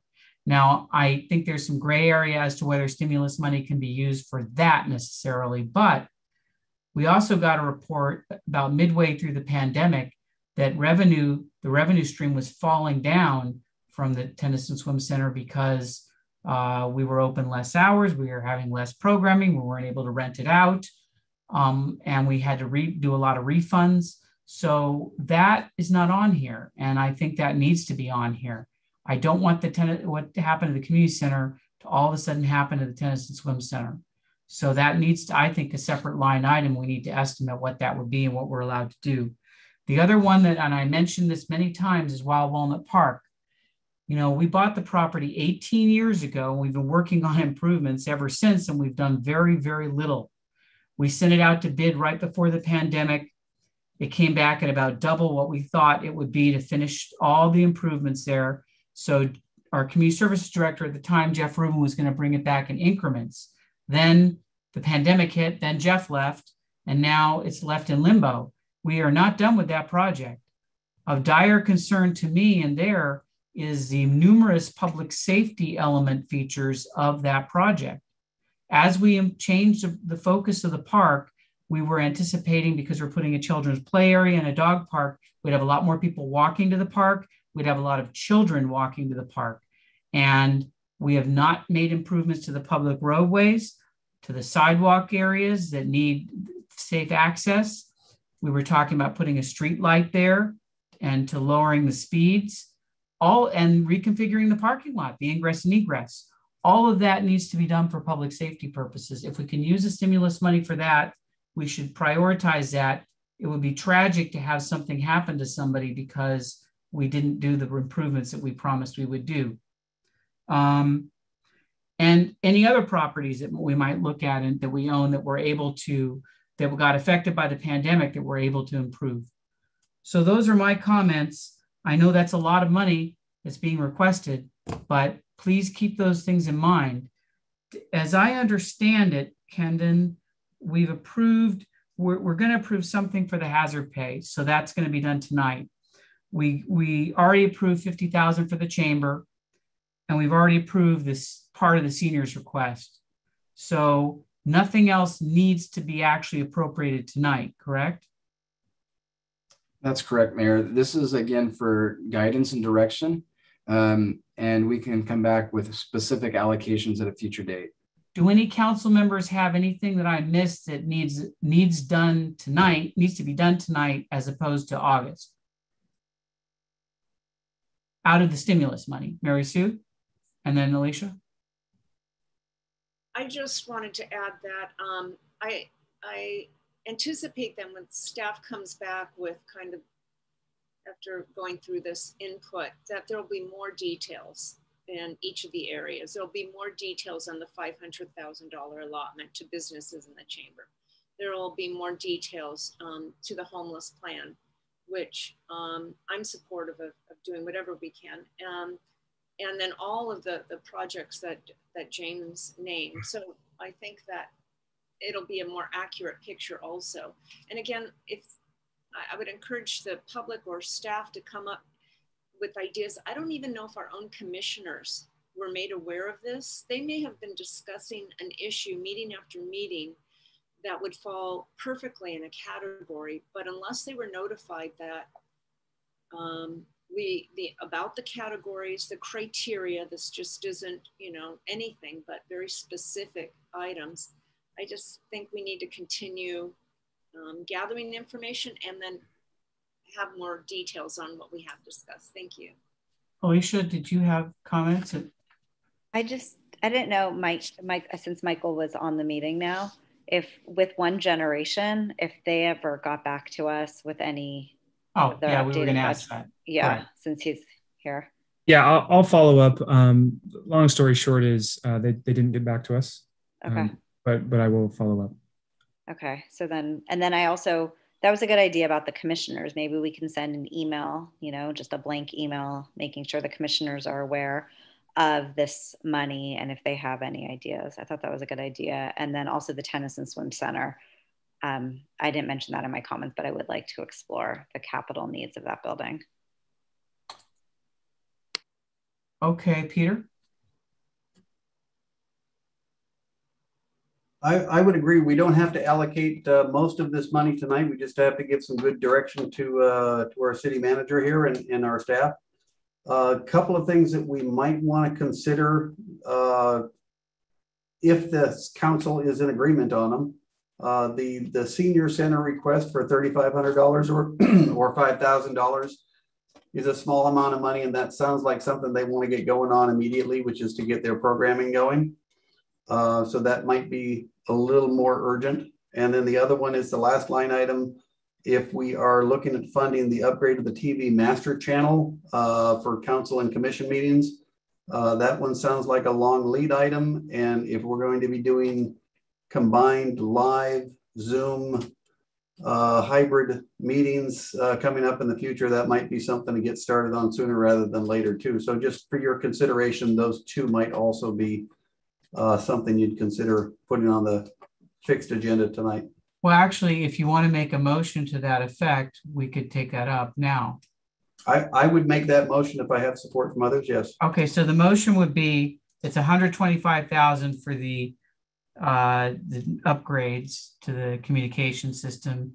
And how much were you allocating to the seniors, of which you've already gotten thirty-five hundred from the general fund? So you're, I guess you're, Oh, the, the thirty-five hundred was the money I understood they need immediately, so that would be it. I don't think we need to add more to that. I certainly will support it, but I don't see anything else as urgent.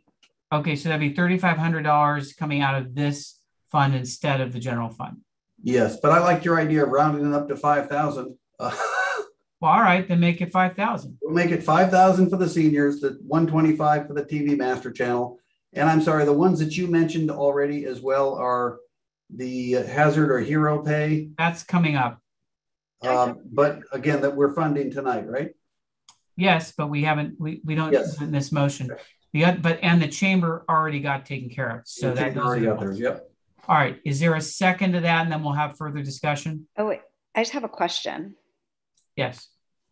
Can someone provide a little more information about the, um, like the upgrade to the television and communication? Urgency. The urgency, I just, I'm in favor of it. I just would like to hear a little more. Arvin is available if we need to um, bring him in. All right, bring him in. Okay.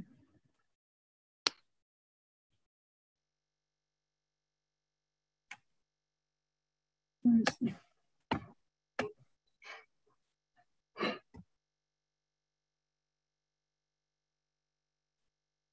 There he is. Hello, Arvin.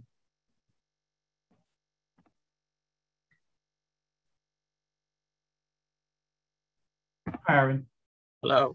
Okay, I'm sure you could hear me now. Yes, we had a question about the All right. urgency. Yes, I heard. This covers. Yes, thank you. Good evening, Mayor, Council members. Um, basically, it's to uh, facilitate our extra camera that we need, or even a computer that we need to do a hybrid type of meeting.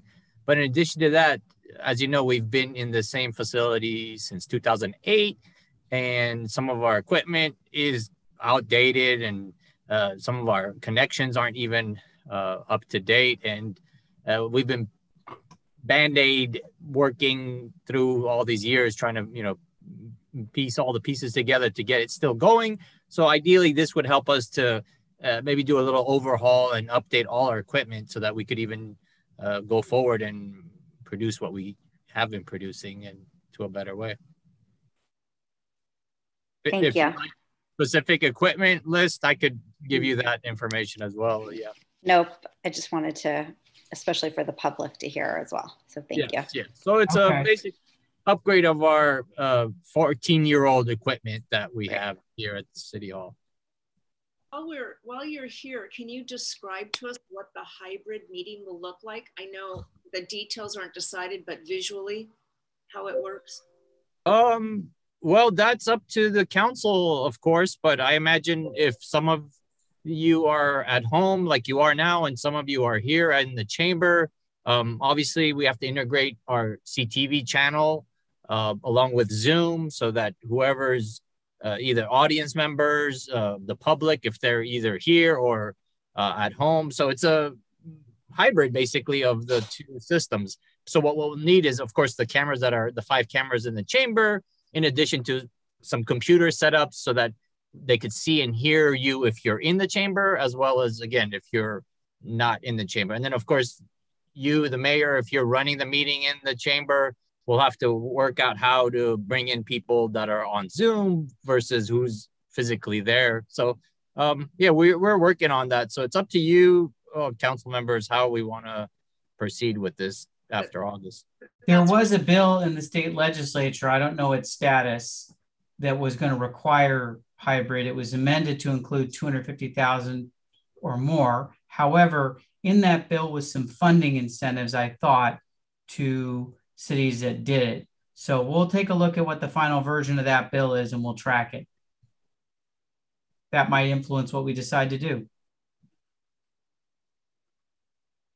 All right. Any other questions, Mary Sue, before we? No, I understand why we All right. would um, approve this this evening. Thank you. Will you second it, Alicia? Yeah, I know you. you. Yeah, I'll Okay. second it. Then um, any further discussion about the items that I mentioned in the motion? All right. Roll call, please. Councilmember Kraut, Aye. Councilmember Shapiro,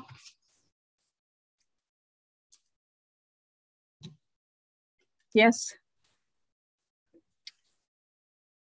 Yes, still. But Thank you. obviously, I need help with my technology here, right? Councilmember Weintraub, Yes. Mayor Pro Tem Maurer, Aye. Mayor Bozajian. Aye. Motion carries, Mr. Mayor. And just to reiterate, it's 125,000 for the uh, communications upgrades and $5,000 to the Caring Calabasas. Of the 5,000, 3,500 will be shifted from what we approved last time in the general fund to this uh, this pot of money here, but there will be a total of 5,000. Okay. Next, um, we are done with this item. Mayor? Yes. Just before we move on, I did get an email that uh, Kelly Fries is in the attendee list. Uh, Kelly uh, coordinates and works with the film festival. I don't know if the council had any questions at this time or if you'd like to explore that at a later date, but I did receive an email that they they are on the Zoom. I, I, saw them and we asked for public comment about 10 times and, and no one said anything. And I, I can't go back because I've got 50 people in the room there. And if I go back with one, I'm going to have to a allow everyone else to comment. Uh, it would not be fair. I mean, I gave so many opportunities. That's why I say it 10 times. So I'm sorry. We'll take it up another time. I'd be happy to talk to them, and I'm sure any of us would in the interim. Um, Thank you. So uh, if there's nothing else on this item, staff's been given direction. It's now a little after eight, why, about eight ten. So why don't we uh, take a 10 minute break and we'll come back with the hazard pay issue.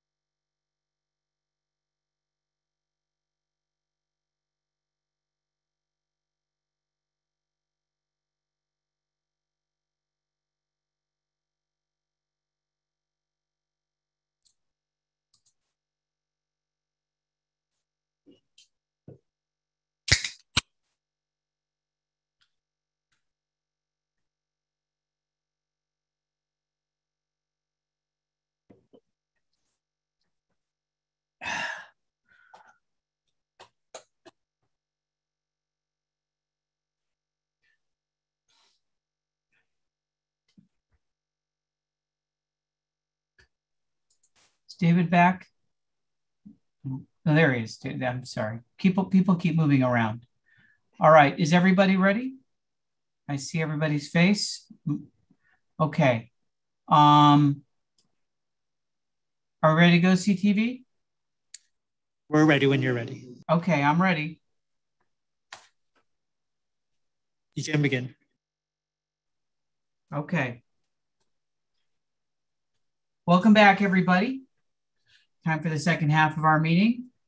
Our meeting now moves to item two, continue business, approve an appropriation amount for one-time Hazard Hero Premium Pay program for frontline grocery workers. To bring everybody up to speed before we turn to the staff, the council had rejected the idea of an ordinance compelling businesses to pay, but had agreed that it would enact its own uh, hazard pay, hero pay ordinance, uh, excuse me, bonuses, and it would use stimulus money. Now is the time to appropriate the funds to decide how much we're going to appropriate. We have a staff report in front of us. Michael uh, would you like to take us through the staff report?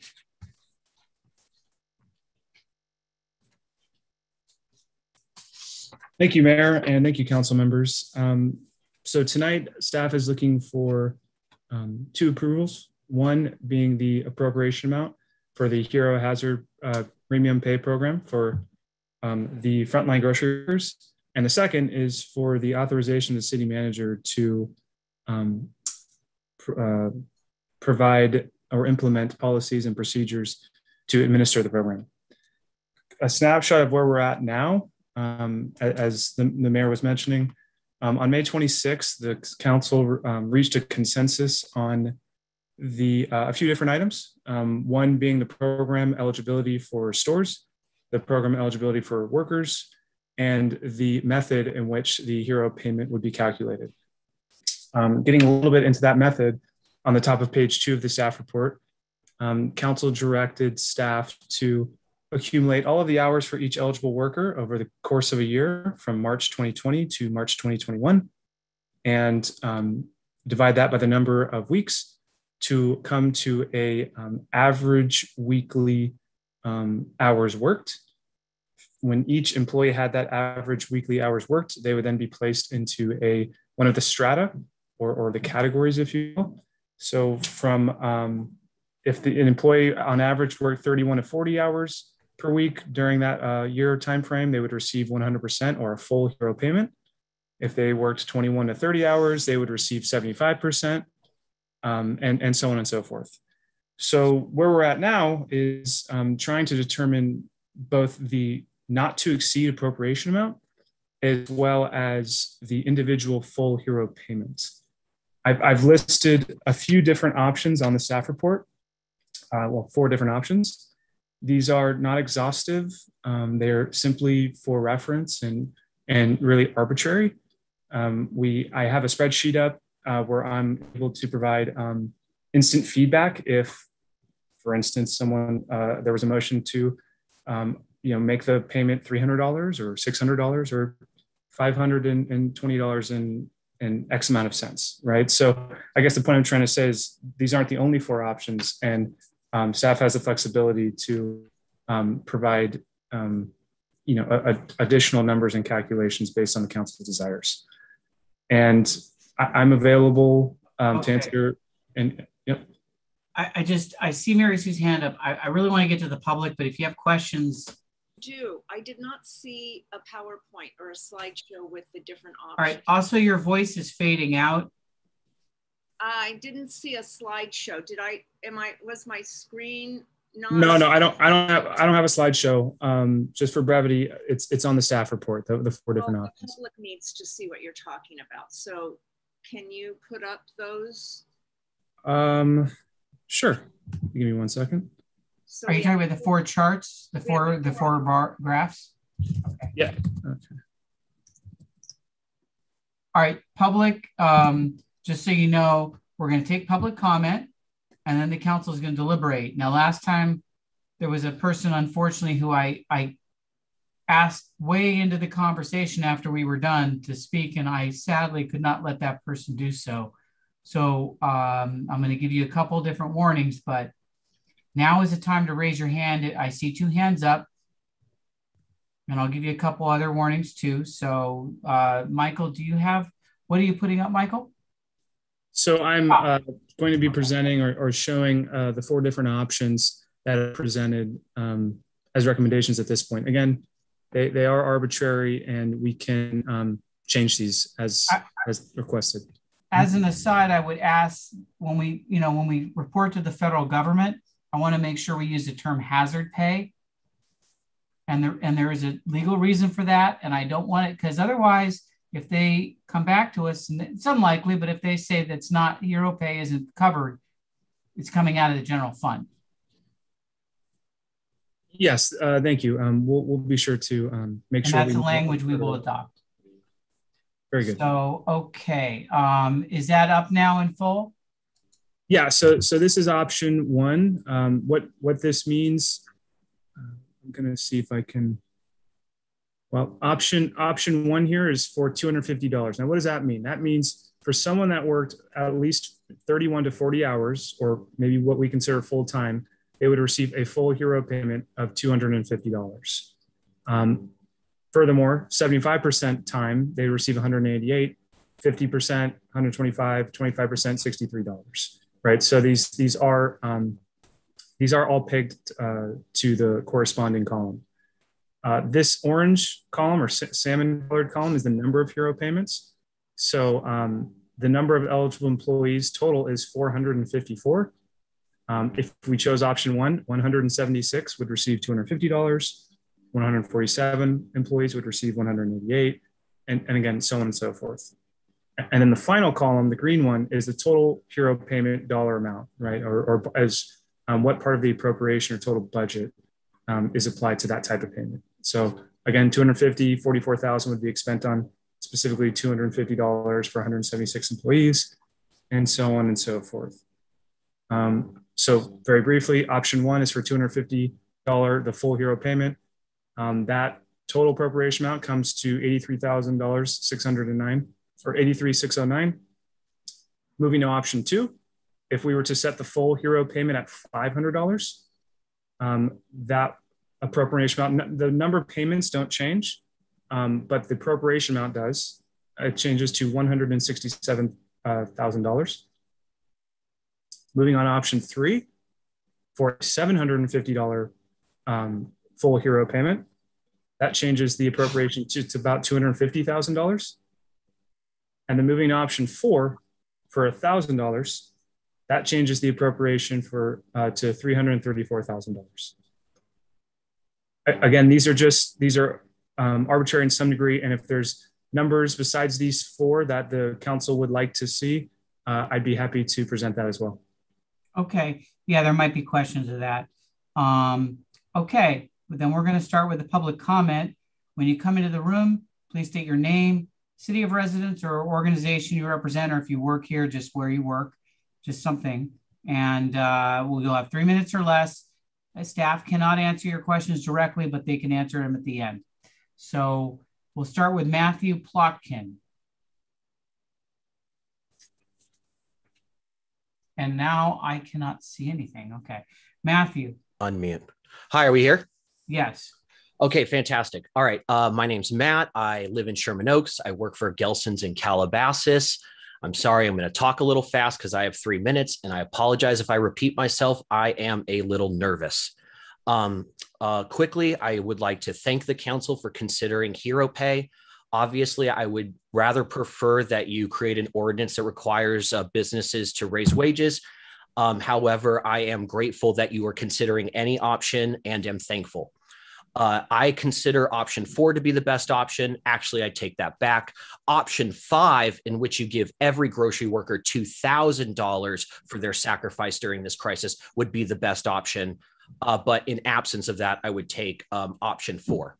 What I would like to spend the rest of my time talking about is uh, the correspondence received item one, which is this beautiful email from Kyla Bockwell to the city of Calabasas, in which this young 17 year old uh, expresses her mental struggles, anxiety, uncertainties about uh, what she went through during this crisis and what she feels she deserves as a worker.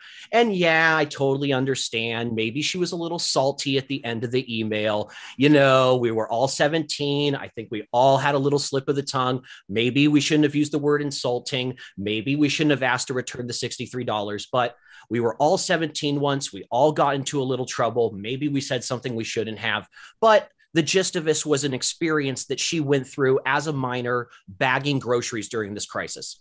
Now, four of the council members decided to take this correspondence and just kind of sit on it and wait for the meeting and just kind of hang out and chew on it but one member decided to take 11 minutes and respond to her.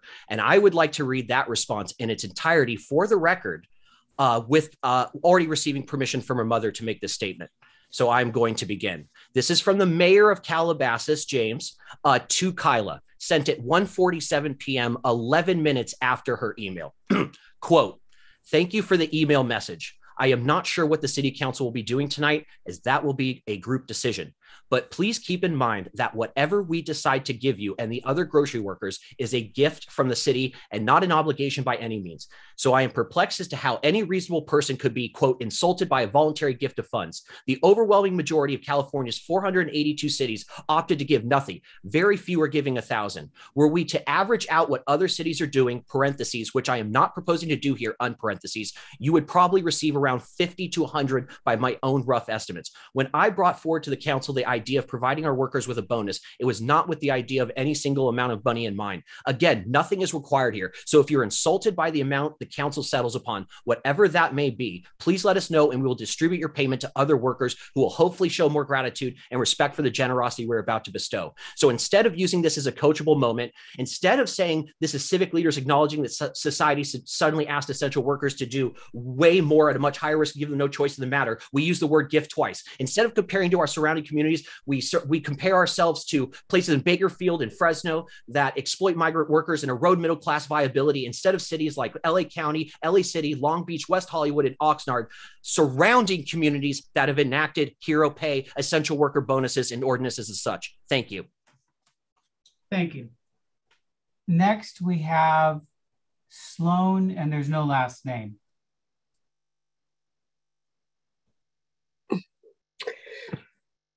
Good evening, good evening, everybody. Um, thank you for hearing us out, and thank you for putting this on the agenda again. My name is Sloan Balkwell, and I am here to speak on behalf of my fellow employees at Gelson's Calabasas. Please know that in our attempts to give our opinions, which have been asked for, did we never intend to seem ungrateful. They are our opinions, and we are passionate about them and what we have been through this past year. No one, not even 17 year old baggers, voicing their honest and heartfelt opinions, take for granted the fact that the city chose to use their stimulus funds as opposed to making the companies do it themselves as other cities have. With that being said, assuming you value our input, we feel that option four is the most fair and comparable to other cities. Please keep in mind that we have all sacrificed the same. We have had and still have the same fear, anxiety, and stress. Whether we are a 17 year old part time bagger who has had no protection at all and was more exposed than anyone else, or a full time checker, clerk, or manager. We all sacrificed our health and well being and still are. The virus is not gone. You can still get it regardless of vaccination status. My coworker lost her uncle to COVID after he was vaccinated we are still at risk. Please keep that in mind. I beg you, and continue, we continue to serve this community without question. Thank you for your time and thank you for your effort. Thank you. Next will be Jill Whitney. Good evening, everyone. My name is Jill Whitney. I'm a union representative for Local 770 for the past 11 years. I'm speaking to you tonight to thank you for considering these workers receiving hero pay, or should I say hazard pay, because working during this pandemic since the beginning has been very hazardous to the physical and mental health of these essential workers. They have been here for the community since the day since day 1 providing much needed food and medicine with the rest of the world was shut down. They work all the holidays so that we can celebrate with our families and friends. Every day I receive numerous calls from workers explaining their fear of working, knowing that they have to go to work, but then having to go home to their loved ones.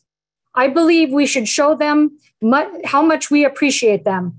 These essential workers endured some of the highest rates of infection due to the high volume of customers. Literally, in some cases, isolation, themselves in their own home, depending on who they shared their home with, like grandparents, elderly parents, and even their young children. With that being said, I thank you, and I believe our essential workers deserve option four, a sum of $1,000 in hero pay across the board. These workers have been committed to work for the past year and now facing the new Delta variant, um, which is spreading rapidly. They are putting their own health on the line for the sake of our community. Thank you again, and I appreciate your time. Thank you. Uh, next is Jake Dodd. And I'll give another warning that we are nearing the end of public comments. If you're waiting, I have one other person after that. So if you're waiting to lift, lift your hand, we close the public comment, we won't be able to have additional comments. So Jake, are you here? Yes. Just unmute yourself, Jake. Hi. Um, I live in Calabasas and I work at the Gelson's in Calabasas. And obviously the pandemic was a very, very hard time for all of us. Me personally, I live with uh, elderly grandparents and coming home every day, watching how stressed they were. Uh, it really took a toll on me, especially, you know, I know it's my decision to come to work and I'm grateful that I have a job, but it comes to a certain point where I think we deserve as much money as you guys are willing to give us. Uh, we were here for you guys every time you came to the market. We bagged your groceries, we checked you out, and we were terrified the entire time. You know, we come home exposing our grandparents, our parents, our cousins, brothers, sisters, it doesn't matter. Um, I do think that we deserve a gift, as you guys like to call it. Um, I think we just need to be appreciated for the work we did. And that's really about it. Everyone just getting their just due, especially when other Gelson's, not even other grocery stores, other Gelson's are giving their workers uh, $5 extra an hour, and they've been giving it since the beginning. So that's about all I have to say about that. I just want to be appreciated like everybody else that works for Gelson's and other grocery stores. So that's about it. Thanks. Okay, thank you. Uh, final comment is Maria, but I don't have a last name. Maria? Um, can you hear me? My connection is a little spotty. No, no, no, it's a good connection. Uh, your first and last name and connect and your city of residence or where you work? Okay, so my name is Maria. I live in Woodland Hills and I work in Gelson's Calabasas. I want to say that I'm very appreciative that you guys are considering giving it hazard pay. And as you may know, the, the pandemic has impacted everyone's life. Some of us have lost someone through this terrible virus. As Sloan mentioned, I lost my uncle a few, just a little over a month ago, and he was vaccinated. I am vaccinated. My family is vaccinated, but the virus is still out there, attacking and trying to make and trying to make its way back with force. It's scary to think that we might go back to those months when everything was locked up. I was there. I was working the front lines with the risk of bringing back the virus to my elderly parents, who are both cancer survivors. I worked overtime to keep the store stocked with the when high demand of items. I'd put my life at risk multiple times. I was verbally abused by customers who did not want to wear their masks or believe I was condescending just for asking them to wear their mask properly. I didn't deserve that. No one deserved that. I am not asking the council to feel sorry for me. I am asking the council to be able to recognize the effort I made and my coworkers made. We all put our lives at risk to serve the community and to serve you. So for that matter, I dare to say that option four is the fairest option to us in behalf of myself and all my coworkers. Thank you so much for your attention. Thank you. Uh, okay, final call for public comment. I see no other hands. Uh, Mari, did anyone call in and raise their hand through that method? No, Mr. Mayor. Okay, then. No other hands either. No other hands. I'm closing the public comment. Michael, I don't know to the extent there were questions. Do you have any any answers? I didn't hear any questions specifically, but any comments based on what was said? No, no comments, and I didn't hear any questions. Mayor. Matthew, City Attorney, anything that you need to say before we start in? No, at this time we provide the previously legal advice. The choice is to the council. Thank okay. You. Let me start. And first of all, obviously, I was a target of the first speaker, and that's fine. I've been doing this for a long time. I don't mind taking the criticism. Um, what I do mind is some implication that somehow I'm insensitive to the plight of the workers, which I'm not. My track record speaks for itself. I was involved in the public sector for my career, and I was a union board member for 22 years. I was a public sector union president of a very large public sector union, one of the largest for two years.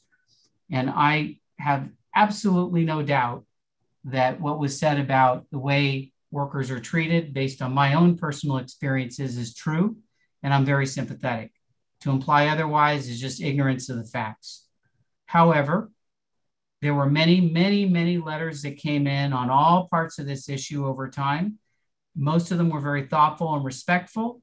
I responded to those that requested a response. There were a couple of letters that were rude and disrespectful, and I responded as I saw fit.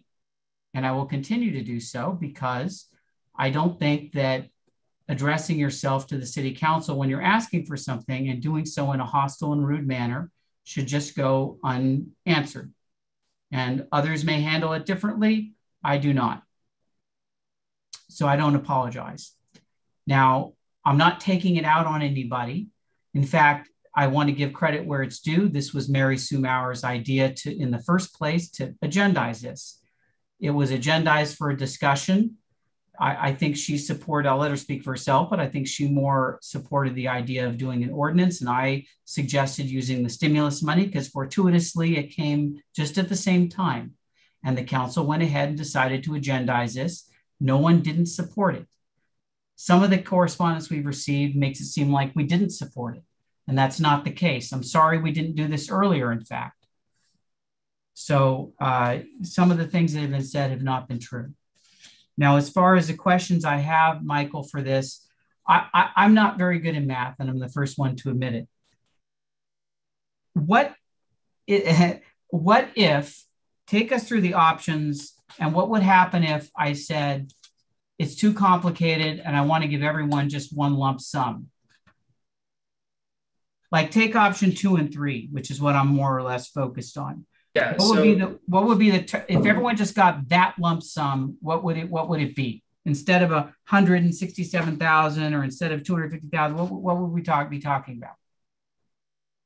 Uh, so for option two, uh, if you're saying five hundred dollars times the the four hundred and fifty four employees that are eligible, regardless of how many hours they worked, that that number then changes to two hundred twenty seven thousand on option two. Okay. All right. Um, Here's my thought. I, I discard option one as being insufficient compensation. And I think option four, while it would be a nice idea, is something that we can't afford, not with the amount that we were given. I looked at other cities extensively, the overwhelming majority of which did nothing. Those that used stimulus funds did, were not as generous as this. Oxnard has been touted but Oxnard has 13 times our population. I looked. They got something like 20 or 25 times our stimulus allocation. So they got more money proportionally than we did, and they spent less proportionally than we're proposing to do on their grocery workers. They also, did we ever find out, Michael, why they have so few grocery workers there? No, no, I didn't. I didn't okay, they have proportionally very few. I found that interesting. So they were able to fund them to a greater extent.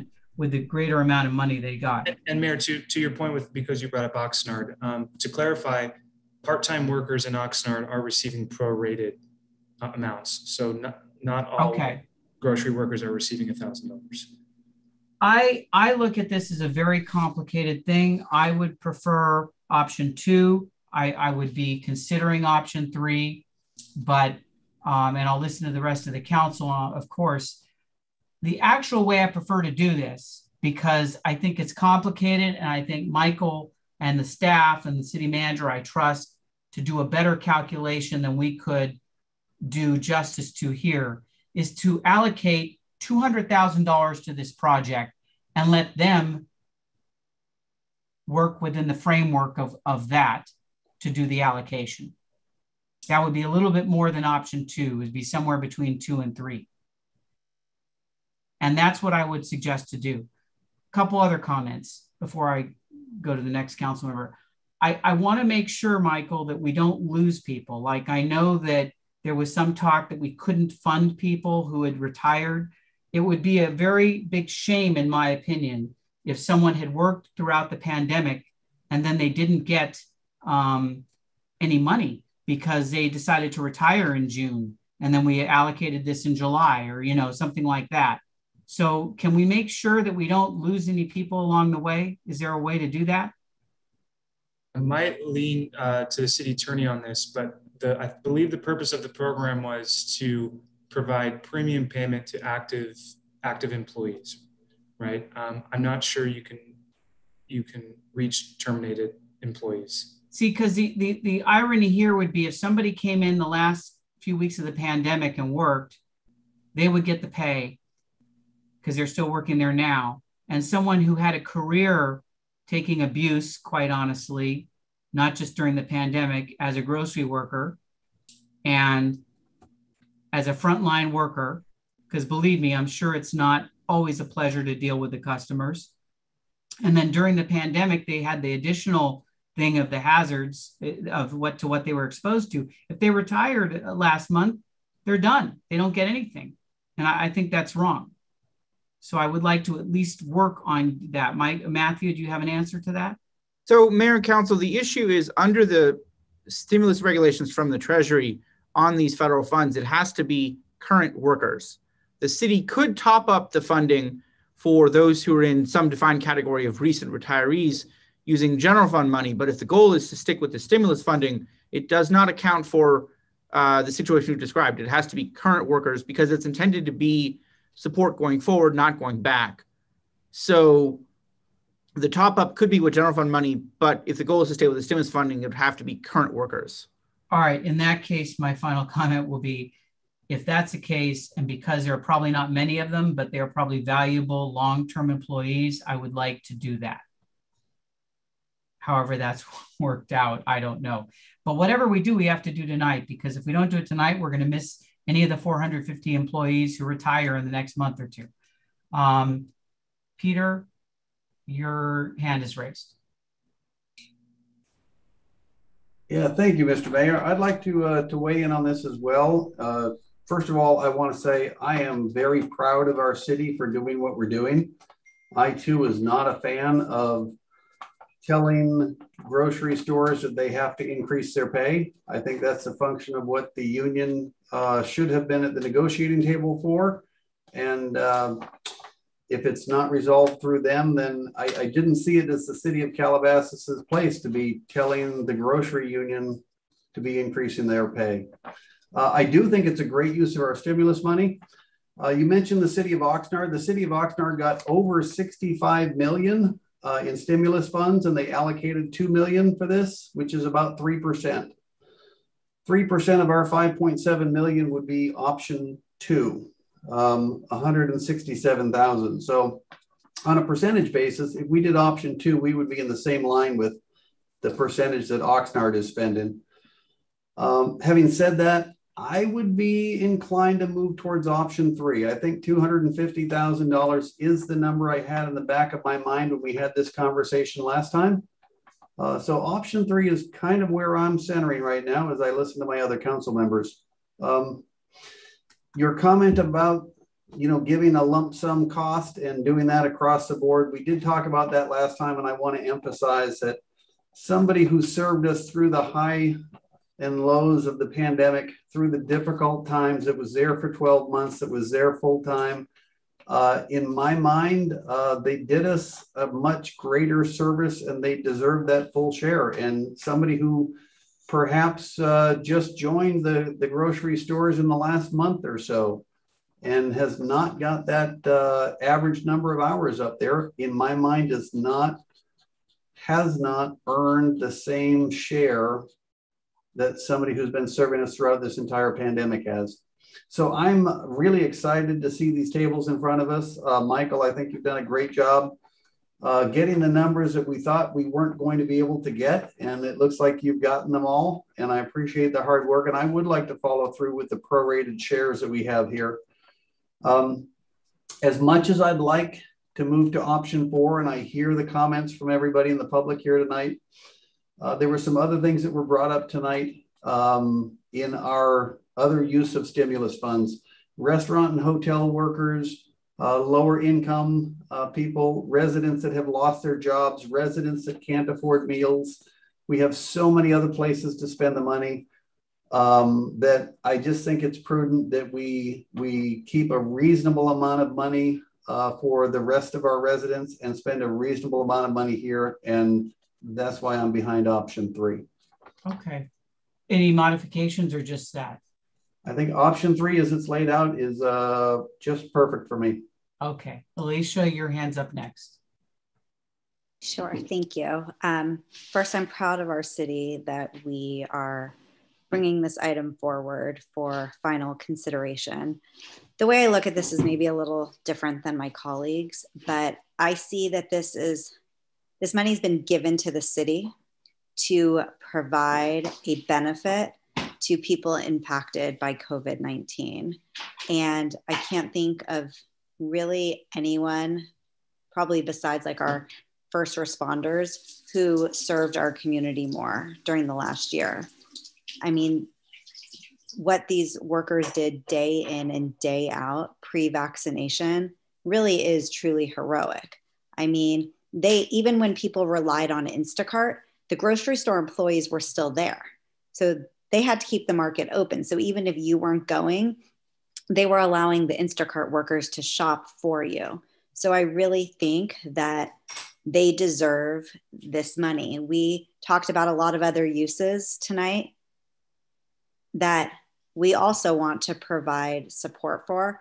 But I really think it's important that we take the money that's been given to us. I'm looking at the slide, the, deck that Mari sent us, and it really talks about to provide to workers performing essential work during the COVID 19 public health emergency provide, by providing premium pay to eligible workers. And it goes on. So I think this is like truly what this money is intended for. And I know that option four is a lot. I'm looking at the difference, but so it's 70, it's, um, wait, what's the difference between 50? It's like $84,000 difference between three and four, right? Can someone check my math? Is that right? Yes. Okay, Peters, thanks. Um, I think we could find the $84,000. I mean, we were given extra money by the government, and I know $84,000 is a lot, but I think that extra $250 is meant to be in the hands of these employees. So I might be in the minority, and I understand option three is pretty close, but I think and now, even today, just for example, LA County is now saying people indoors should be wearing masks. That places like extra stress again on the workers because people are so defiant all the way, yelling at these employees, fighting with the manager. The sheriffs have has had to been called over the last year. I mean, this is not like a normal working environment. And we heard from two um, high school age students and their experiences. And I just think, again, this is how the money was intended for. And yeah, that's where I'm looking. It's, you know, 80 plus thousand dollars, but I think we could find it. And we want our markets to continue opening. This pandemic is not nearly over. As I spoke about in the beginning of the evening, you know, we're only at 73% vaccinated for 16 plus. We have this new variant.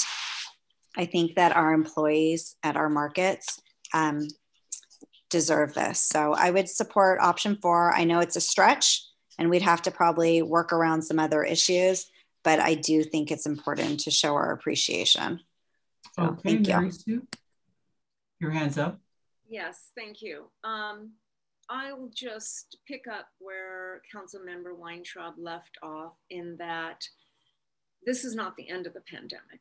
Um, these workers are going to continue serving our community during the next phase, the long pandemic, the next pandemic, and um, and I'm very grateful.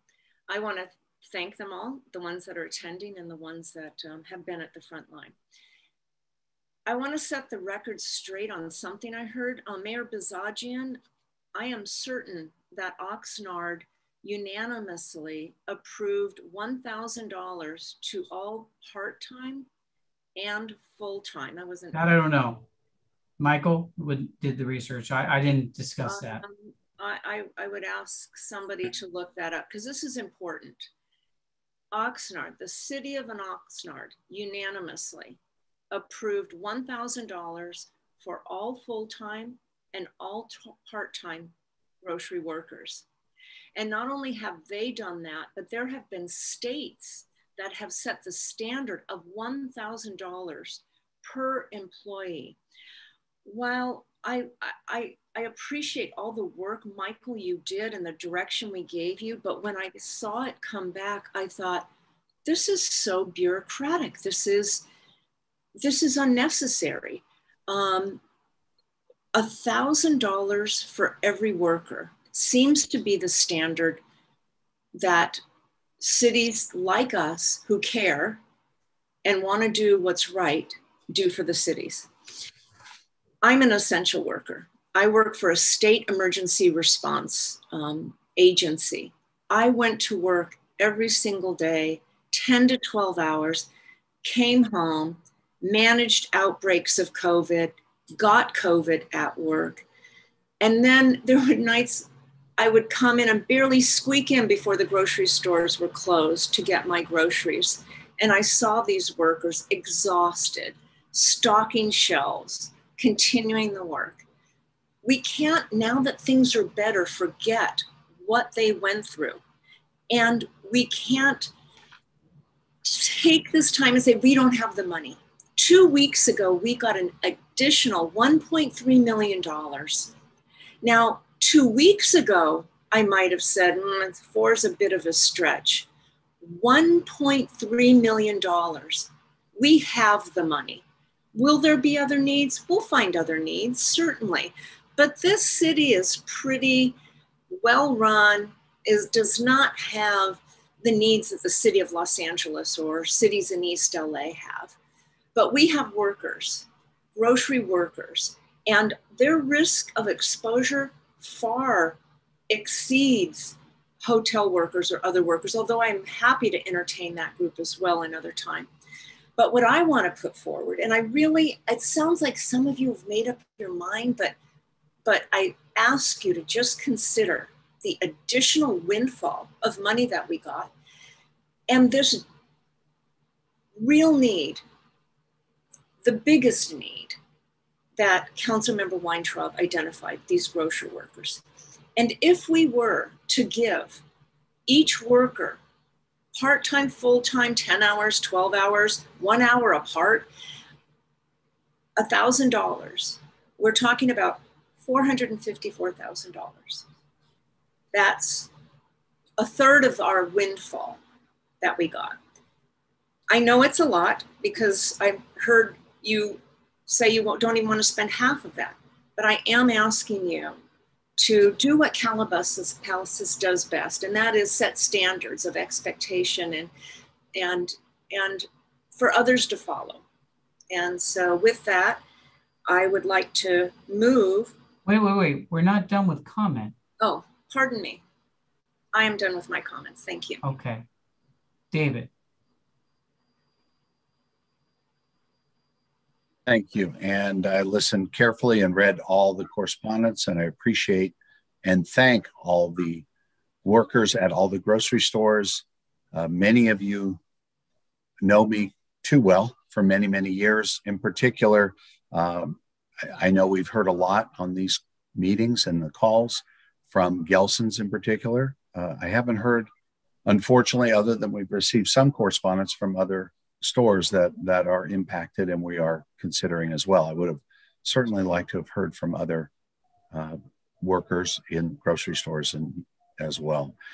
Um, but we do thank them. I thank them tremendously and and appreciate the hard work and the stress, understandably, that they went through during the past year plus and still continue to deal with. We all do.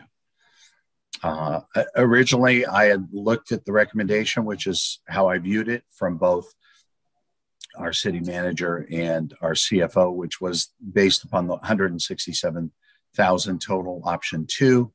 And uh, I, I, thought it made some sense financially, uh, being careful, being cautious, yet doing something.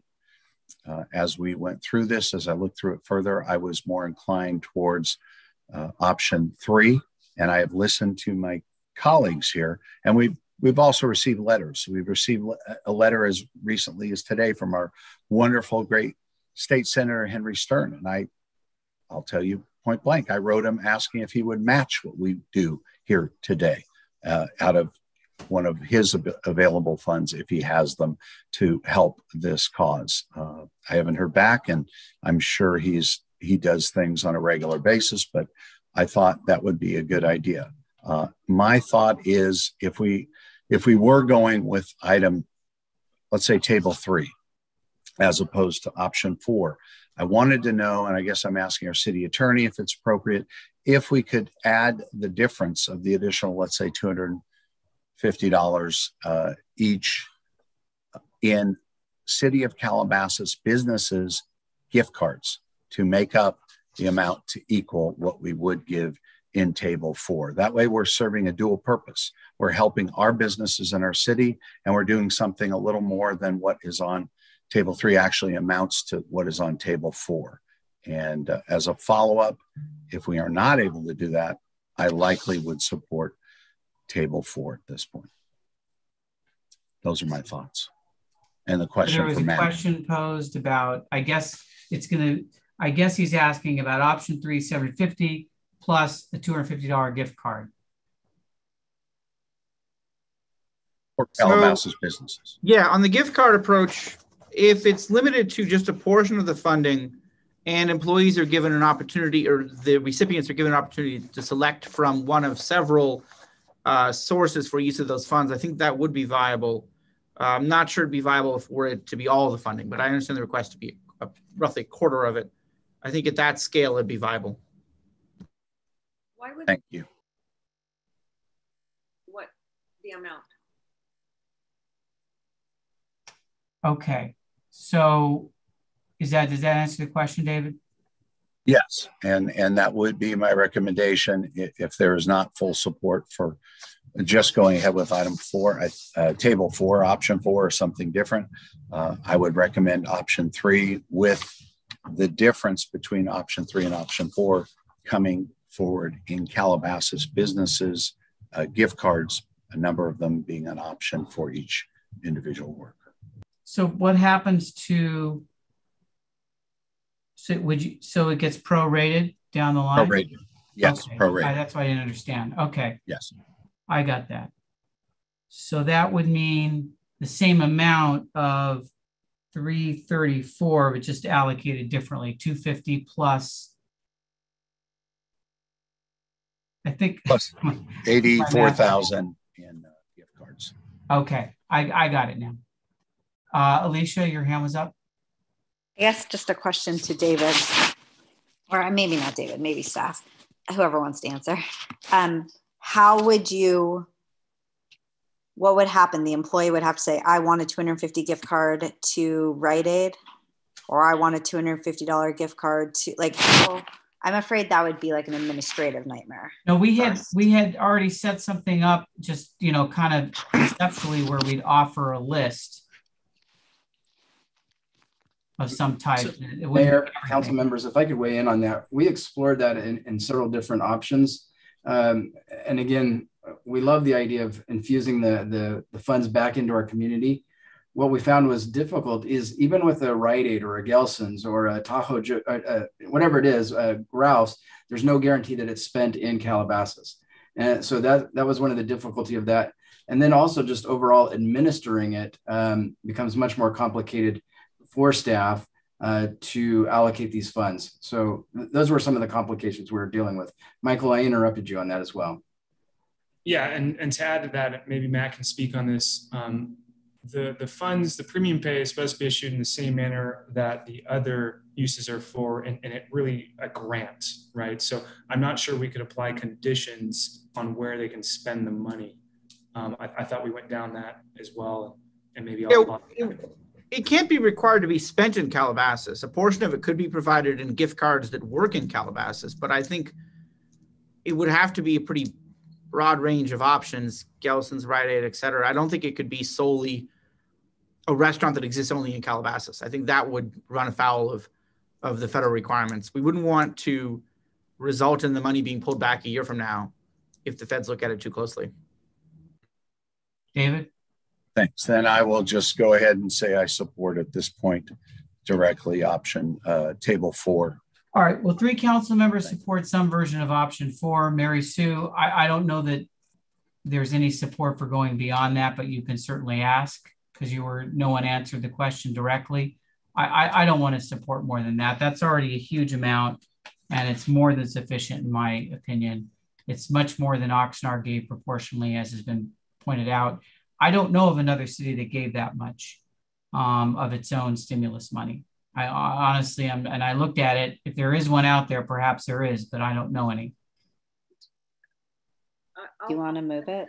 Move. I can't. The problem is, I can't. You're fading out. Did you? What did you say? I, I, I was going to say I'll make a motion, but then um, Councilmember Weintraub uh, had something to say. Okay. No, no, no. I asked if you wanted to make the motion because I couldn't hear you.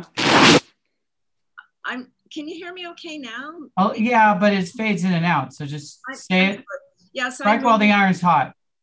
I move um, to approve option number four. I'll second that. Okay. Any further discussion? If not, then Mari, you can call the roll. Councilmember Kraut, Yes. Councilmember Shapiro, Yes. Councilmember Weintraub, Yes. Mayor Pro Tem Maurer, Yes. Mayor Bozajian. Aye. Carries five zero, Mr. Mayor. Okay, it's five zero. Will that that will be? What I'm sorry. Option four. I was going to say option four. Yes, option four. Okay, thank you for all your hard work on this, Michael. We really appreciate it. I know it was very difficult to assemble all of this and keep the keep the statistics statistics in mind and the ever changing landscape of what's going on out there, including the change in the amount of stimulus funding. So, uh, moving right along, task force reports. Any task force reports? David? Real briefly, I did attend the uh, Valley Economic Alliance board meeting. I wanted to confirm the sale of the building, uh, of which Valley Economic Alliance was a uh, small partner. And you had asked last time, James, about where they were moving to. At this point, the board and Valley Economic Alliance are still looking at potentially uh, releasing the same space or smaller space in the same building. Otherwise, there are alternatives that'll come up at the next meeting. Okay. Um, any other task force reports? Okay, city manager's report. Uh, Thank you, Mayor. I don't have anything else to report tonight. Requests for future agenda items? Nothing? Okay, you can submit them before August and we'll put them on there. I did have one that I had discussed uh, before, which was um, I would like in time for hopefully the first meeting in August, it may even be a closed session, um, a memorandum from the city attorney regarding strategy involving SB 9 and SB 10 and how cities can work with or around or whatever those those bills because I assume they will probably become law and I don't want to get caught flat-footed if our ordinances are not in um, in place and if we don't have proper protections for our various communities. So there's nothing, no one has anything that you want for August yet? That's fine. All right.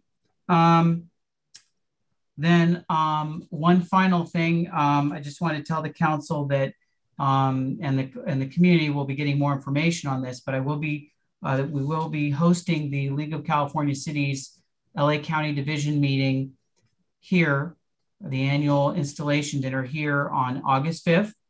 It is open to the public, but it is $50 uh, to attend. It's a dinner, and I will be installed as um, president of the league for the coming year. And so uh, we'll invite the community, anyone who wants to attend. Um, and you'll be getting further information along with an invitation very shortly. Um, so with that, with no further business, it's 9.09 p.m. and we will adjourn. Thank you all very much. Bye-bye. Thank you. Good night. Good night. Night, everyone.